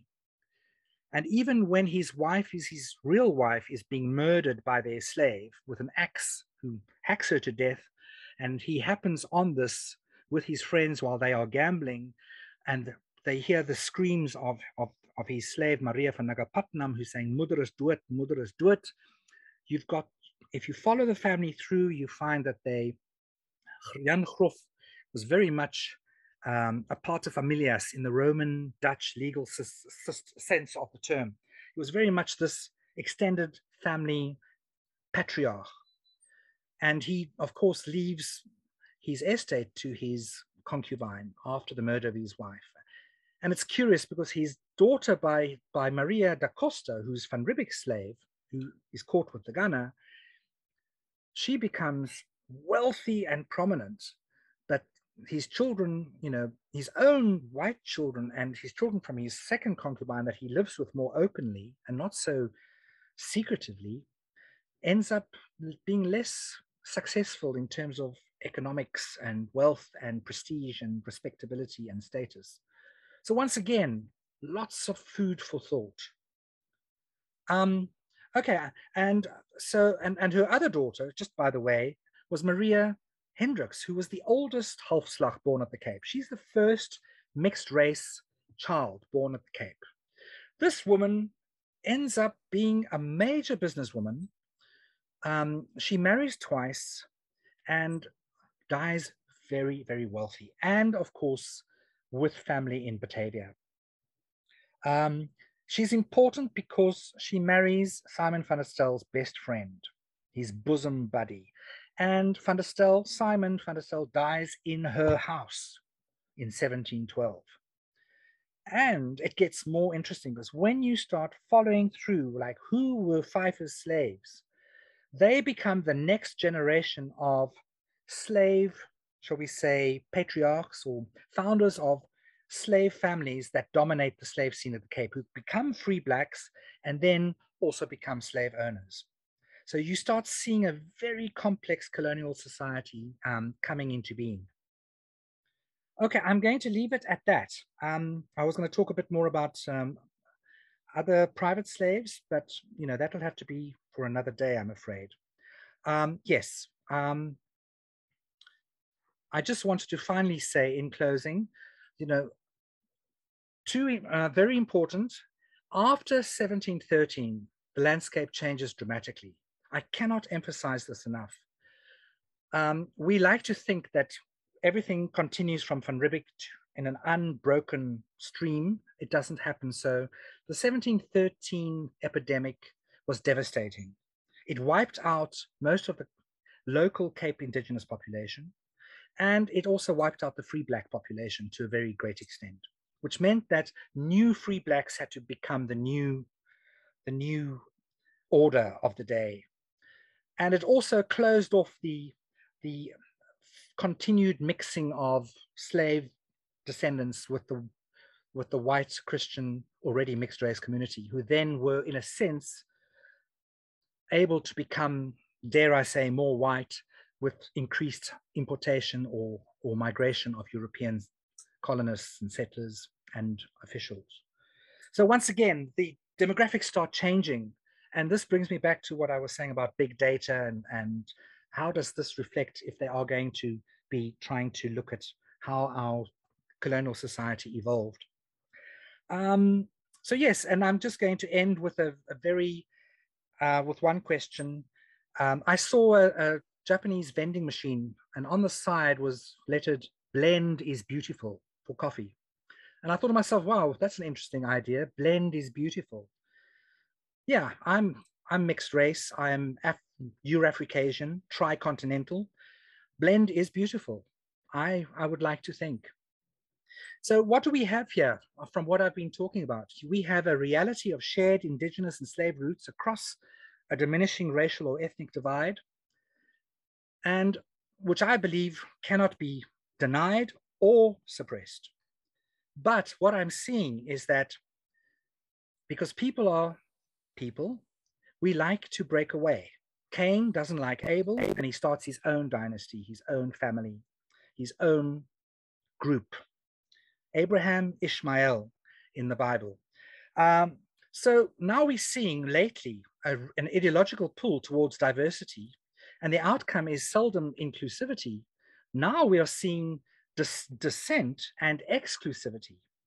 So we're saying goodbye to the Rainbow Nation and we're saying goodbye to color blindedness, which I think is really sad, but it's a reality. We are now seeing this recompartmentalization happening in perhaps new forms or or recurring forms. Whether it's good or bad, I'm I don't know. I'm just saying, look at what's happening. This is what I'm seeing. But it takes me back to many, many years ago in 1976. I took part in a, in a debate in my school at Hottentots Holland in Somerset West. And I the, the topic was, will the two language groups, English and Afrikaans, come together in the future? And I was, you know, 16 years old. I had my de Villiers Pama with me. I had I had already started researching. I had already met uh, Dr. J.A. Heese and visited him at his house. And and so I, I came to, I was the speaker in, in this debate, and I, I was going to speak in favor of the two language groups coming together because I felt that my grandmother was half and both my grandmothers were half, in fact. So I, I, I was living proof of this, actual living proof. And I stood on the, at the podium and I told the audience at school, I am a living embodiment of this. And here's the research of all many Afrikaner families that are interrelated to English families. And I was laughed at. And I lost the debate. I lost the, the debate. And I was extremely devastated by this because I was a far better speaker than my opponent and my arguments were far more convincing. But the crowd were into ad hominem. The, one of the opponents in the audience stood up and said, and he was a popular head boy, who was a Van Heerden nogal, but an English speaking Van Heerden, who said to me to my face, our groups will never come together. So I, you know, what did I learn from that? I learned that truth doesn't make people change their minds. Domastrand is Domastrand. And people, my grandmother was the same, my one grandmother. She said, I don't believe you. Eva Meerhof is not my ancestor. I don't believe you. And nothing I could say would ever change her thinking. And cool. I'm happy that she she was happy. Um, the point is, people, this is something you see in history. Dissent is alive and well and is a motor for change. people disagree, break away, start new sects, new cults, new religions, new political parties, new whatever. And um, when times are tough, they either come together or they separate even further. So in the end, we're still going to have clusters of groups that are connected and not connected. David was asking, uh, has mitochondrial DNA ancestry been conducted to validate the maternal lines? Um, well, you know, um, I'm not I'm not a DNA specialist. I, I, have many misgivings about the whole DNA testing. I think it's still very much in the um, early stages. Um, but my understanding from some of the sites that I do look at, um, people are testing, and some people are, you know, managing to to to find links to certain parts of the world. Um, so yes, um, some is being done, but you know, it's depending on who's doing it and who has the money to do it and who is committed to doing it. But you know, I I, I work with the written record. Um, I don't work with DNA testing. Um, it's too new and too complicated, and I don't think it's um, we can really uh, tell say enough about it in terms of in, of accuracy and and minute detail. And of course, I worry about other things too, like if I'm going to take a piece of my DNA and post it to America, how do I know that when it gets there, the person who intercepts the envelope or whatever, or you know, or the package, and then replaces it with somebody else's? or they mix it up in the, in the in the laboratory. So sorry, I I want to know that every stage of the testing is correct. So from an evidentiary point of view, I don't trust it at all. I want to know Maria Hendricks. Was her dad a slave? Because I picked up the first Hendricks from uh, Germany in uh, 1654. Um, yeah. you, you, need to be more clear on that because there's more than one Maria Hendricks. Maria Winkelhausen, who is the stammoeder of the Geldenhuys family, I think, or not van Westhuizen, she was also Maria Hendricks. Then there was Maria Hendricks, who was um, born a slave, uh, who is the daughter of, um, or the half sister of, of Margarethe Vissers, who was um, the daughter of Hendrik Hagens. So, uh, and then there's Mike Maria Hendricks, who was known as Micah as, as a diminished. Yeah, I know about her. Yeah. She's also Hendricks. She's yeah, I know, but was, her husband was in the Tilman Index. But um, so uh, uh you. So who, uh, who are you referring to? You you to- spoke about the Maria Hendricks. Yeah. Oh yes, I'm I'm talking about her being Maria da Costa's daughter. Yes, it's the oldest. Yeah. She's born at the Cape. It's in her will. She's very clear about how old she is and very clear where she is born. She's yeah. Cape born 1657, and um, she's Maria's daughter. You didn't do any uh, genealogy of the of the Hendricks family. Well, you know, Hendricks uh, is just a patronym, so um, there's no one Hendricks family uh, that I not not at the early. No, there at least fifteen who came out. So I'm now looking at the very first ones to see who oh, yes, they okay, were. So, you know, I'm researching them. Hmm, so there's Tilman Hendricks. Tilman Hendricks is my yeah, ancestor. But, mm-hmm. Yeah, but he didn't have any male descendants? Uh, Tillman Hendricks did not have any male descendants. Let me think now. Well, yeah, he had his daughter was Janneke Visser. His daughter was uh, his daughter was Janneke who married Sis Visser. Yes, but but he had a stepson who took his name, by the way. Oh, did he? Oh, but it wasn't his own son. No, but he, he, he was known as as um, he took on um, Tillman Hendricks's names, and he. Oh, did um, he? Did yeah. he have descendants?